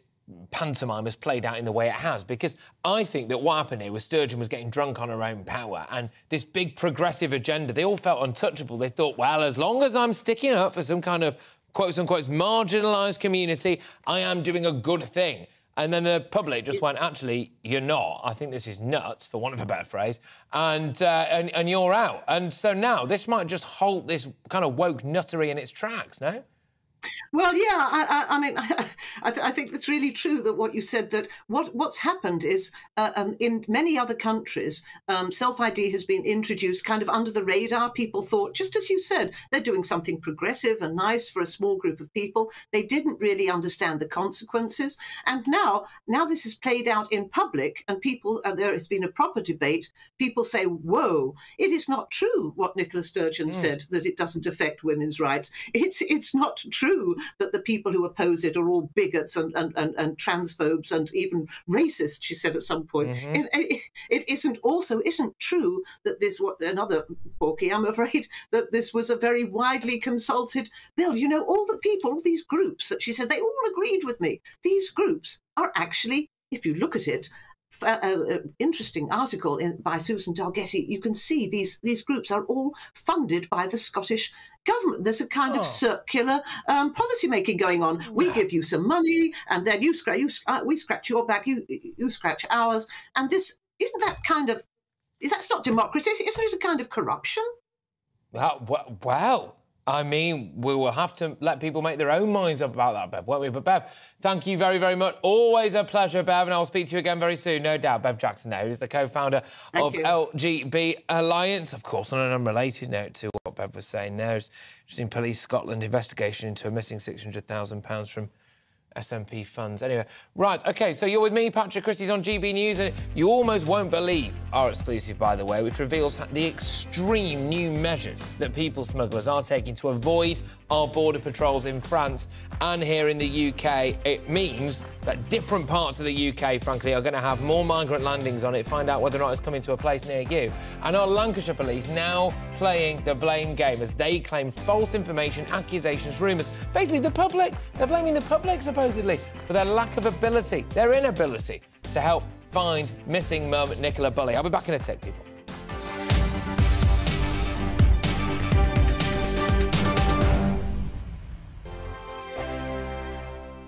First and foremost, I am a GB News fan, and I was before I was working here. Just love the fact that we're asking the questions that a lot of establishment media won't ask. With a bit of a twist, we not only want to inform you, but we want to keep you entertained. It's worth the drive because you get in and the team's all ready and waiting, they're itching to go, and it's a proper little family. GB News is the people's channel. It's the audience that makes the programme sing. We're giving our viewers and our listeners a voice. I see the thousands of your letters, tweets, emails, you name it, coming in. Britain is broken. How on earth did we get into this mess? But more importantly, how do we get out of it? The establishment had their chance. Now we're here to represent you. It's time for something different. It's time for GB News. I'm very patriotic. I believe in Britain. Our best days lie ahead. Britain's watching. Britain's watching. Join us here on GB News. The People's Channel. Britain's news channel. Hi, Andrew Pierce here. Join me every Friday lunchtime for a proper no nonsense debrief of the week's events. With special guests in the studio and the GB News team on the ground, I'll be getting you up to date with news, some intelligent discussion, and my own sharp take. The weekend starts here with me every Friday lunchtime on GB News, the People's Channel, Britain's news channel. I'm Michael Portillo. Join me on GB News on a Sunday morning for topical discussion, debate, arts and culture, and sometimes even ethical dilemmas. I don't always agree with you, Michael. Michael Portillo, Sundays on GB News, the People's Channel, Britain's news channel. I'm Andrew Doyle. Join me at 7 o'clock every Sunday night for Free Speech Nation, the show where I tackle the week's biggest stories in politics and current affairs with the help of my two comedian panelists and a variety of special guests. Free Speech Nation, Sunday nights from 7 on GB News, the People's Channel, Britain's news channel. Here on GB News Live, we'll be keeping you in the picture, finding out what's happening across the country and finding out why it matters to you. We'll have the facts fast with our team of reporters and specialist correspondents. Wherever it's happening, we'll be there from 12 noon on TV, radio, and online. GB News, the People's Channel, Britain's news channel. Join me, Patrick Christys, Monday to Friday, 3 till 6. We tackle the day's news agenda like you've never seen before. It's high tempo, high octane, the most controversial topics, and the best guests. You will not be able to take your eyes and ears off it. I'm not afraid to ask the questions that you really want answered. 3 till 6 pm, Monday to Friday on GB News, the People's Channel, Britain's news channel. Join me, Laurence Fox, on GB News. Frank, fun, fearless, and sometimes serious. Much as I love a Friday night punch up, what I really want is a battle of ideas. I want to look at things differently. I want to hear different voices and engage with your unique experiences. Every Friday at 7 pm on GB News.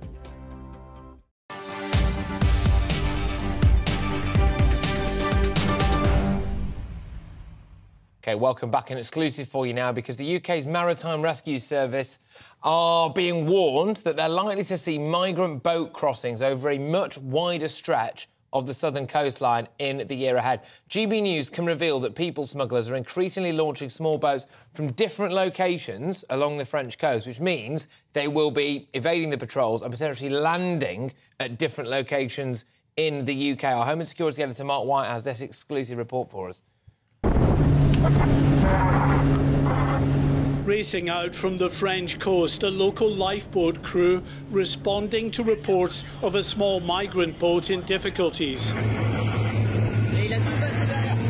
But this incident, also involving a French border patrol vessel, is far away from the usual small boat routes out of Dunkirk and Calais. In fact, we're south of Boulogne, more than 50 miles from those routes. It's one of dozens of rescues the lifeboat based in Berck has attended in recent months, a major uptick in activity as people smugglers attempt to avoid increasing police patrols further north. The numbers have been rising. At the end of 2021, we were involved in many migrant rescues. During 2022, there were significantly more migrants. The further they have to travel by boat, the higher the risks. Travelling from down the coast brings extra dangers. Being in the water for longer brings the danger of hypothermia and even being hit by bigger boats. For the people smugglers, increased police activity around Dunkirk and Calais has made their regular launch points more difficult to operate from. French authorities are also busy erecting miles of extra security fencing around those beaches, and that's driving the small boats further south. For years, the criminal gangs have predominantly used the shortest route to the UK, pushing off first from the beaches around Calais, then expanding to include areas near Dunkirk. While occasional boats have been launched further south, in the past six months, this route, using beaches near Boulogne, has seen a significant spike in activity. With a beach even further south near Fort Mahon also now regularly being used. And for maritime patrols in UK waters, that means a far greater likelihood that small boats will begin showing up on a much longer stretch of UK coastline in the year ahead. It'll mean rescue teams across a wider area being called out more regularly to boats that have been in the water for many hours it does put a lot of pressure on the, the resources. You know, these boats are constructed for one purpose to shift mass numbers of people, but they're designed, you know, constructed very poorly. They're not expected to be standing up to any real sea conditions, the amount of, of people that they are uh, loaded with. So by crossing from further south and spending longer at sea, every second that they're at sea longer than they need to be is just going to increase that risk and that chance of, of another of another disaster. There's little doubt, say maritime rescue experts, that those making small boat crossings from further down the French coast will be at far greater risk. With predictions that up to 80,000 people could attempt to cross in the year ahead, authorities on both sides of the channel will be stretched to the limit. Mark White, GB News.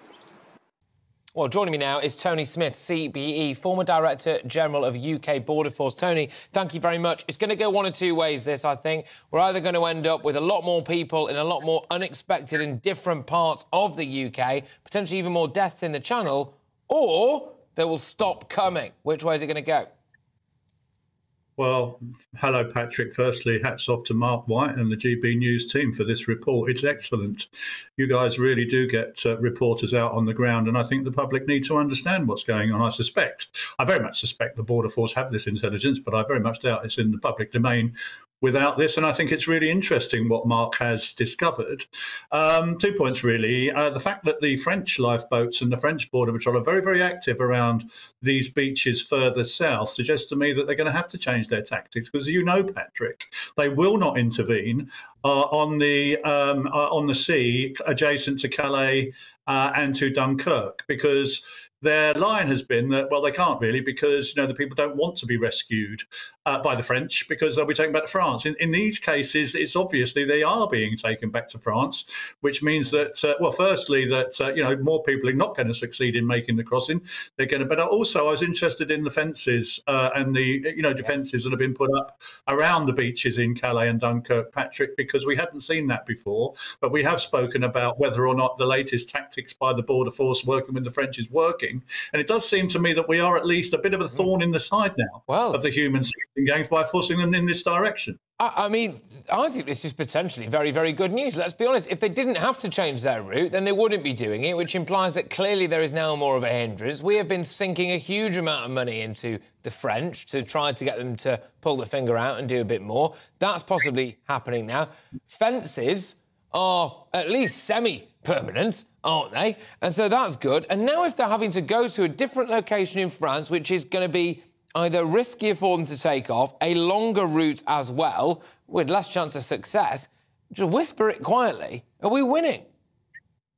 Well, we've spoken before about whether or not the money we're spending in France is worth it, whether the French are really interested in working with. But this report, to me at least, uh, Patrick, seems to suggest that actually it is working to an extent, isn't it? Now, we haven't seen a reduction in numbers yet. The numbers this year are about the same as they were last year. But it does tell me that uh, it is, it is, we are making it, we are making it hard. We are working with the French. It is harder for them to take the easy route across the Dover Strait. The worry, though, uh, Patrick, whether it's good or bad news, is that I really worry that these are even more unsafe uh, routes and more illegal routes. As Mark said in his report, you know, and maritime experts far more qualified than me will tell you that if you're going down as far as Le Touquet or Fort Mahon uh, to board a, and the, and the, boats seem to be the same, Patrick. There's any difference in mm. larger vessels. These are still unseaworthy. That people are going to get into trouble, and I'm, I fear, I really fear more people are going to drown. That's my that's my real worry. Mm.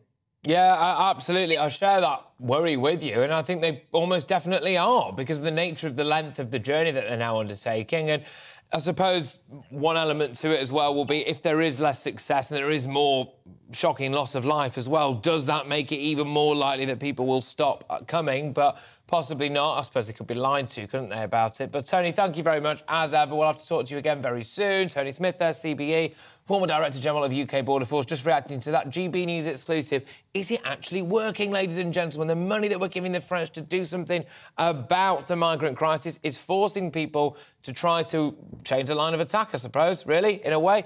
But it could also mean, though, that different parts of the UK are going to be seeing some people landing on their beaches in a rather unexpected way. So it could go one of two ways. You're with me, Patrick Christys on GB News. Next, though, shocking this, actually. Has the blame game started? Lancashire police claim that false information, accusations and rumours are distracting them from their work to find missing mum Nicola Bulley. Some would argue they're blaming the public, frankly. And will they? Won't they? Do we even care?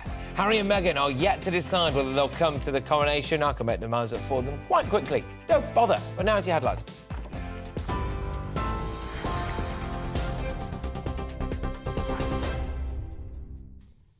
Patrick, thank you. The top story this hour Rishi Sunak has thanked Nicola Sturgeon for her service after the First Minister made a surprise announcement she was to step down after eight years at the top.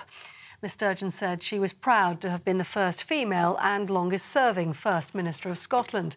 Ms Sturgeon acknowledged that the move might seem sudden, but she denied it was due to short term pressures and said she'd been wrestling with the idea for some weeks. Now, to be clear, I'm not expecting violins here, but I am a human being as well as a politician. And the nature and form of modern political discourse means that there is a much greater intensity, dare I say it, brutality to life as a politician than in years gone by. All in all, and actually for a long time without it being apparent, it takes its toll on you and on those around you. The Labour leader has apologised on behalf of the party for its handling of anti Semitism complaints under his predecessor, Jeremy Corbyn. Sir Keir Starmer also confirmed Mr Corbyn will not stand for Labour at the next general election. The Equality and Human Rights Commission announced it'll end its monitoring of the party two years after finding it responsible for unlawful harassment and discrimination.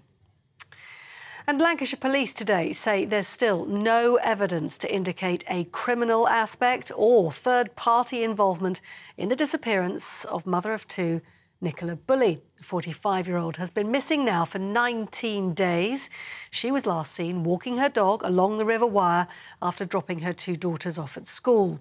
Detectives say Nicola was listed as a high risk missing person due to a number of undisclosed vulnerabilities. Those are your latest GB News headlines. We're back in half an hour. See you then.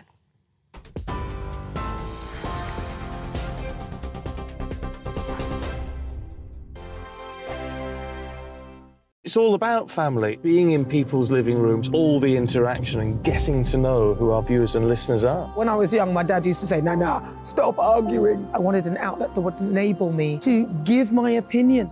People are going through a really hard time right now, and I know that you don't feel like you're being listened to by the establishment. I came to GB News because it's the people's channel, and I want the audience to have their say on the events of the day. We're dynamic, we do something different. Democracy shows that the wisdom of the nation is in its people. I get to travel to find out what the story is from a personal perspective. The British people aren't fools. We know when we're not being told the full story. We've got to work out how Britain moves forward from this. It's the best country in the world. The establishment had their chance. Now we're here to represent your views. Britain's watching. Britain's watching. Britain's watching. We're proud to be GB News, the People's Channel. Britain's news channel. Join my show Farage, 7 pm till 8 pm, Monday through Thursday. And there you will get opinion, analysis, debate, and I'll cover stories that nobody else dares to touch. You've been cancelled. Join the club. Oh my goodness me. And then for the last 15 minutes, talking pints. We're over a drink. We have a civilized conversation with someone. We very often disagree, but we do it in a grown up way. Come and join me on Farage.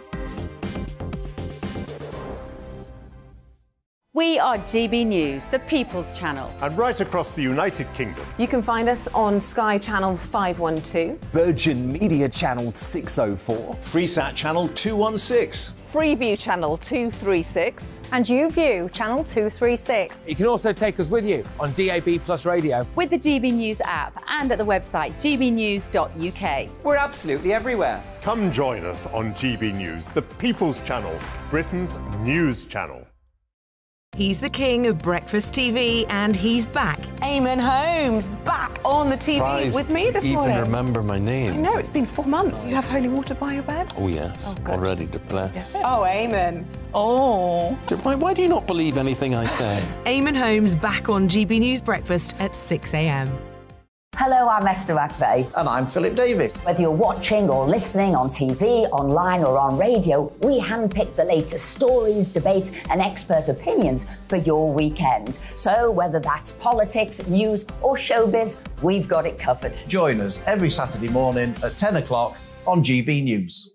We are GB News, the People's Channel. Why not take us home with you by visiting the GB News shop at gbnews.store? You'll find all the official merchandise, a really good present actually for yourself, your friends, or your family. We ship across the UK mainland at no extra cost. GB News, the People's Channel.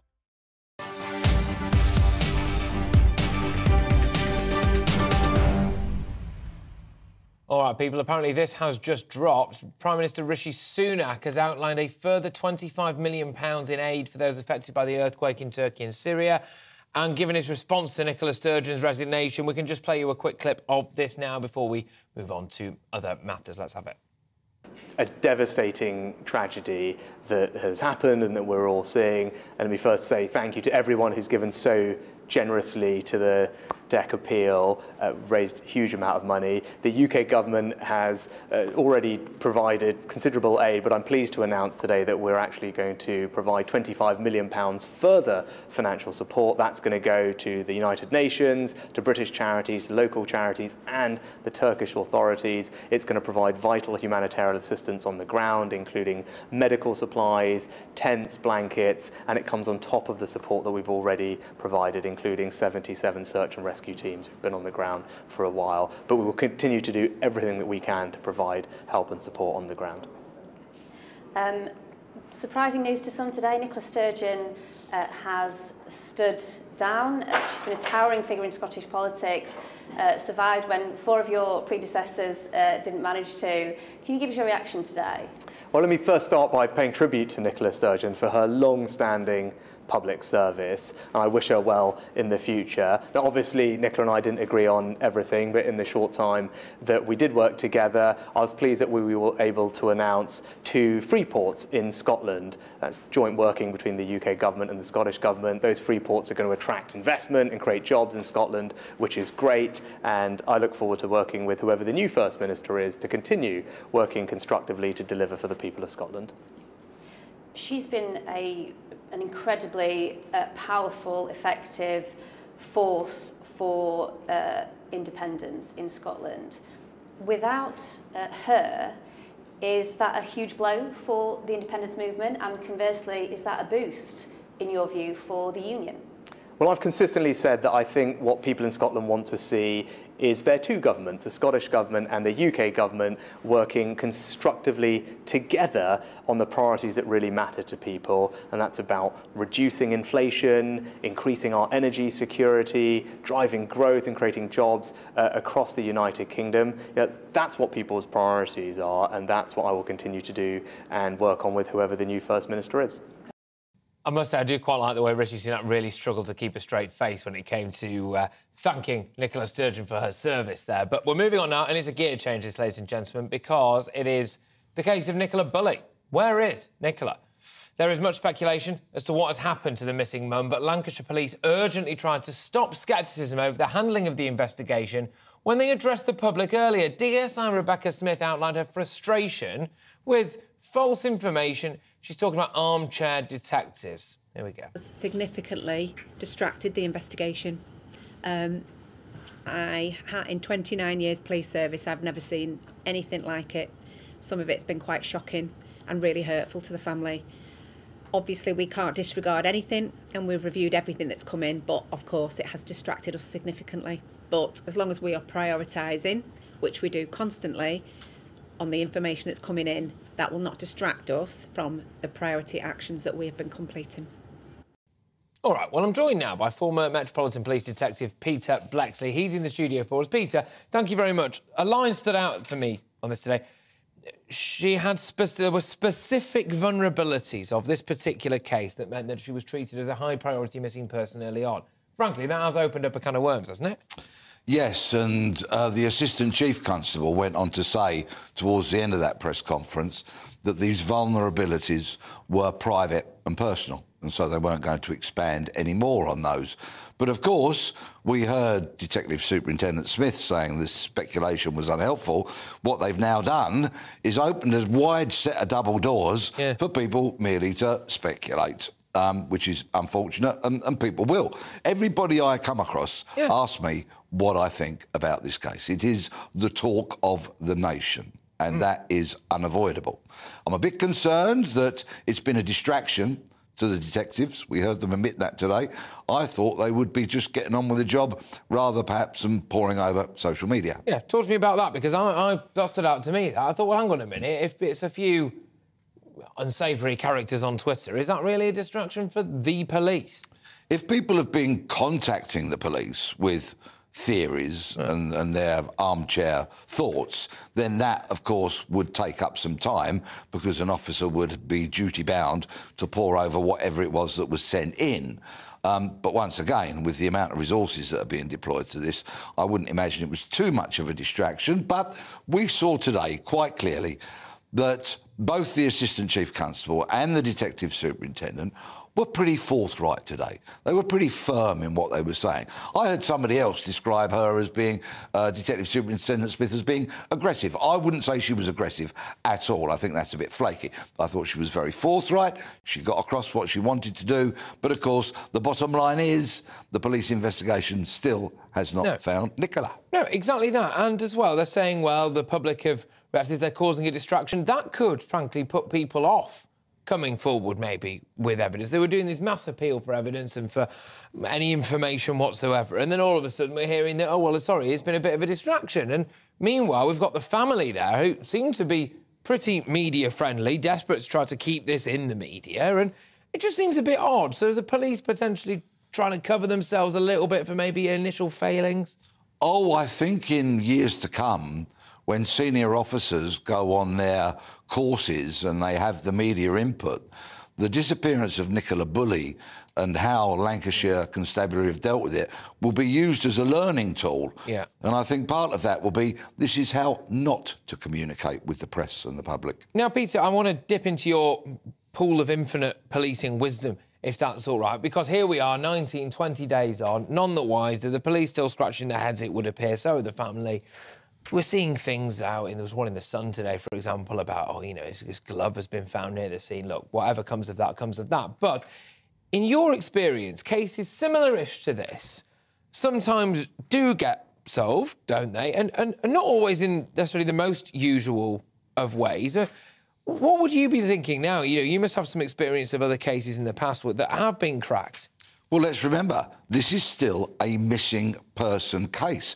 The police went to great lengths today to say there's no evidence of criminal behaviour and there is nothing to suggest the involvement of a third party. So they are really sticking to that line very strongly that they pushed out in the first three days. Mm. Let's just rewind, if we may, to the first three days the Friday, Saturday, and Sunday, when myself and millions of others noticed that there weren't any cordons in place, mm. that the bench hadn't been removed or anything like that. And that is because it was a missing person inquiry. As a senior investigating officer, Smith only came on board on the Monday. So that's when kind of detective eyes started pouring over the circumstances and doing the very in depth inquiries that they've done. We have to let Lancashire Police get on with it Mm. and let's hope it comes to some kind of resolution. But they really did reinforce no evidence of crime, no evidence of a third party. If that at any stage proves to be incorrect, then the fallout will be enormous. Yeah, it will be absolutely massive, won't it? And in your experience, Peter, sometimes it can be maybe, I don't know, unusual things or little things that certainly to the untrained eye like myself, we wouldn't notice. But in the past, you've done things like managed to track people's weekly routes and things, haven't you? And then they've come back on a specific day. It's little little things, isn't it? Can you give us some examples, maybe, in your time? It's attention to detail because that is where the devil resides, as we would always say. It is that attention to detail. One thing that is puzzling me about this is that Nicola was wearing a Fitbit, apparently, a pale blue Fitbit, hmm. but that was not synced at the time of her disappearance to any device. Now, the sole purpose, as I see it, of wearing a Fitbit is to monitor your physical activity, the steps you take, and any other heart rate, for example, depending on what model you've got. So, why unsync that device and still wear it? Yeah. I'd want the answer to that. Now, again, look, I'm not speculating on what's happening here, okay, particularly any more than, frankly, the next man, right? But when you hear things like specific vulnerabilities and when you uh, see that someone, in the case of Nicola, she, she's just vanished, okay? The police seem none the wiser. I'm not saying this is what's happened. If somebody wants to go missing, how easy is that to do? Well, hundreds of thousands of people go missing every year, Hmm. and quite simply, some people are never found. Um, there are cases dating back many, many years, including children that have gone missing and have never simply been traced. As adults, some people want to leave the, their lives behind and never be found. I've got some breaking news on this right now. Lancashire police have just come out and said, literally in the last few seconds, that Nicola Bulley had suffered significant issues with alcohol. We're going to get more information on that right now. That's the latest line, Peter, just dropping to us live here that Bulley had suffered significant issues with alcohol. So, in just a matter of five or six hours from the police saying they are not going to further divulge the personal and private details of her vulnerabilities, now we find them once again flipping that entirely and telling us about that. So, that could well be a statement that the statement goes on to say that the r- significant issues with alcohol that Nicola Bulley suffered were as a result, as they say, of her dealing with the menopause. Apparently, this is just what we're getting to us right live here now. Lancashire Police have uh, introduced this to us now, and it has resurfaced in recent months. So, look, what they're basically saying there is Nicola Bulley had drink problems, and that was as a result of the menopause. Clearly, it would indicate maybe a period of sobriety or, or less of a drink issue. That has now resurfaced, as they say. Does this particularly change? I'm just going to read a bit of this actually. So, missing mother of two, Nicola Bulley, had in the past suffered with some significant issues with alcohol, which had resurfaced over recent months. Lancashire Police has said this in a statement, expanding on what they mean by specific vulnerabilities. Your initial reaction to that, Peter? Yes, well, unfortunately, I know from not my own experience, but the experience of others, that some people, when they have alcohol issues, can start drinking the moment they wake up. Yeah. And really, and drink all day, every day. May she have consumed some alcohol before she went on this walk? We don't know. But again, with this latest news, that has to be a possibility, I would imagine. Um, and does that add some weight? Have the police, of course, known this for getting on for three weeks now? Have they known this from the start? And is this part of what they've known all the time that has again pointed them towards their theory that Nicola went into the water? Yeah, indeed. Uh, and frankly, I think this really does actually change the perception of things uh, because it may be, I mean, it opens up a variety of different possibilities, and people, anyone who knows anything about people who can suffer sadly with alcohol addiction, etc., will know that the impact that can have on your mental health. It will know that uh, the impact that it can have on behaviour, etc., uh, as well. Quickly. Yeah, and there's an important point here. Okay, if she's got alcohol problems, she may have been thinking irrationally. So don't try and apply rational thinking to what might have happened. And that's a key point, actually. Rightly, rightly said. Okay, quick read of this statement again. Missing mother of two, Nicola Bulley, had in the past suffered with some significant issues with alcohol, which had resurfaced over recent months. So Nicola Bulley had suffered some significant issues with alcohol that had resurfaced over recent months. Lancashire Police just bringing us that. Uh, Peter, thank you very much, mate. Great stuff. That Peter Bleksley, uh, former Met detective. Right, you're you've been with me, and uh, Michelle is up next. Michelle Dewberry is in for Dewbs and Co. Yes, gosh, well, significant development that Michelle. It must be said. Yeah, it is. You know, what a strange story, isn't it? Uh, obviously, I watched the press conference as well this morning. It's been, I thought the turn there, uh, they didn't seem to be happy with those pesky members of the public that have been trying to get involved, did they? I thought that was quite interesting as well. But, you know, when I watch and listen to all of this, obviously I feel really horrific uh, sadness for her family. But I also can't help but ponder there are so many other missing people out there as well. Yeah. Uh, do those cases get as much interest and resource, etc., as this one?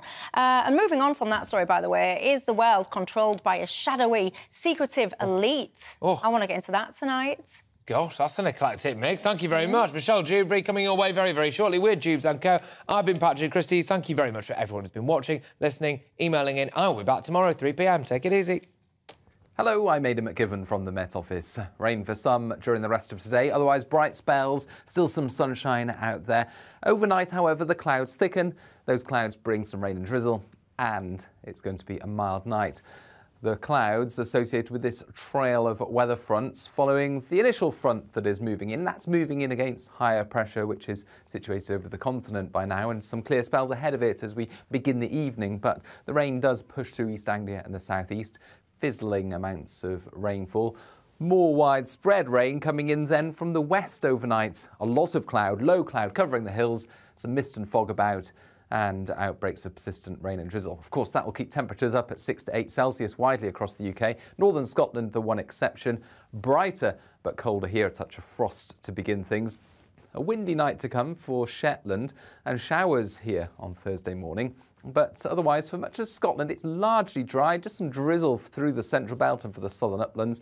England and Wales get off to a dull and damp start, but the cloud will lift in places, particularly across central areas where temperatures will reach 13 or 14 Celsius. Staying misty around coasts and hills in the south and the west, and for Northern Ireland, here, a drier interlude before more wet weather comes along by the evening. That pushes into the rest of Scotland and for much of North Wales and northwest England, turning heavier in places, especially towards the northwest of Scotland during the night time.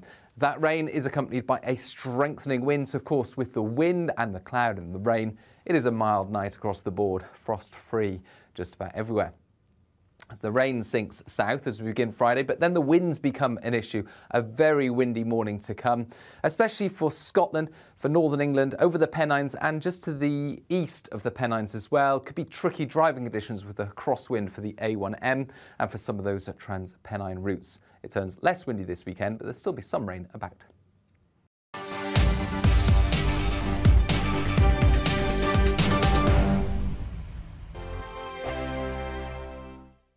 It's all about family, being in people's living rooms, all the interaction and getting to know who our viewers and listeners are. When I was young, my dad used to say, Nana, stop arguing. I wanted an outlet that would enable me to give my opinion. People are going through a really hard time right now, and I know that you don't feel like you're being listened to by the establishment. I came to GB News because it's the People's Channel, and I want the audience to have their say on the events of the day. We're dynamic. We do something different. Democracy shows that the wisdom of the nation is in its people. I get to travel to find out what the story is from a personal perspective. The British people aren't fools. We know when we're not being told the full story. We've got to work out how Britain moves forward from this. It's the best country in the world. The establishment had their chance. Now we're here to represent your views. Britain's watching. Britain's watching. Britain's watching. We're proud to be GB News, the People's Channel, Britain's news channel. Monday to Thursday, 9 pm till 11 pm, join me, Dan Wootton. I'll bring you the sharpest takes and hottest debates. Do you not believe in prison? I, I don't believe in prisons. I'm completely Right. stumped. I guarantee you there'll be no spin, no bias, no censorship, I actually was personally quite offended by it. and no reason to go to bed. So I guess they've always been quite woke. That's Dan Wootton tonight on TV, radio, and online, Monday to Thursday from 9 pm till 11 pm on GB News, the People's Channel, Britain's news channel. Hello, I'm Michelle Dewberry, and you can join me every weekday, 6 till 7 on Dewbs and Co. You're uh, an inspiration to us all. Clip that bit up. Well, you I'll are. put that You- my you- you- ringtone. my political ambitions are, those days are gone, I can tell you. She's Um, only teasing. Go on. He's probably going to want to lay down now. I'll give him two minutes to have one. Let's respectfully disagree. That's what we like on Dewbs and Co. Come and join us. GB News, the People's Channel. Michelle Dewberry, weekday evenings at 6 o'clock. I'm Simon Evans. Join me on GB News for headliners at 11 pm. What's the scoop? I'll be joined by two of the country's top comedians. That's right. As we take a look at tomorrow's newspapers tonight. We're going to get into trouble. If it's a big story, we'll be covering it. Spill some tea on him. There we go. But we'll also have some fun. I wouldn't stick up a bank. My father didn't love me. so anyway, Headliners every night from 11 on GB News, the People's Channel, Britain's news channel. We are GB News, the People's Channel. And right across the United Kingdom. You can find us on Sky Channel 512. Virgin Media Channel 604. Freesat Channel 216. Freeview Channel 236. And YouView, Channel 236. You can also take us with you on DAB Plus Radio. With the GB News app and at the website gbnews.uk. We're absolutely everywhere. Come join us on GB News, the People's Channel, Britain's news channel.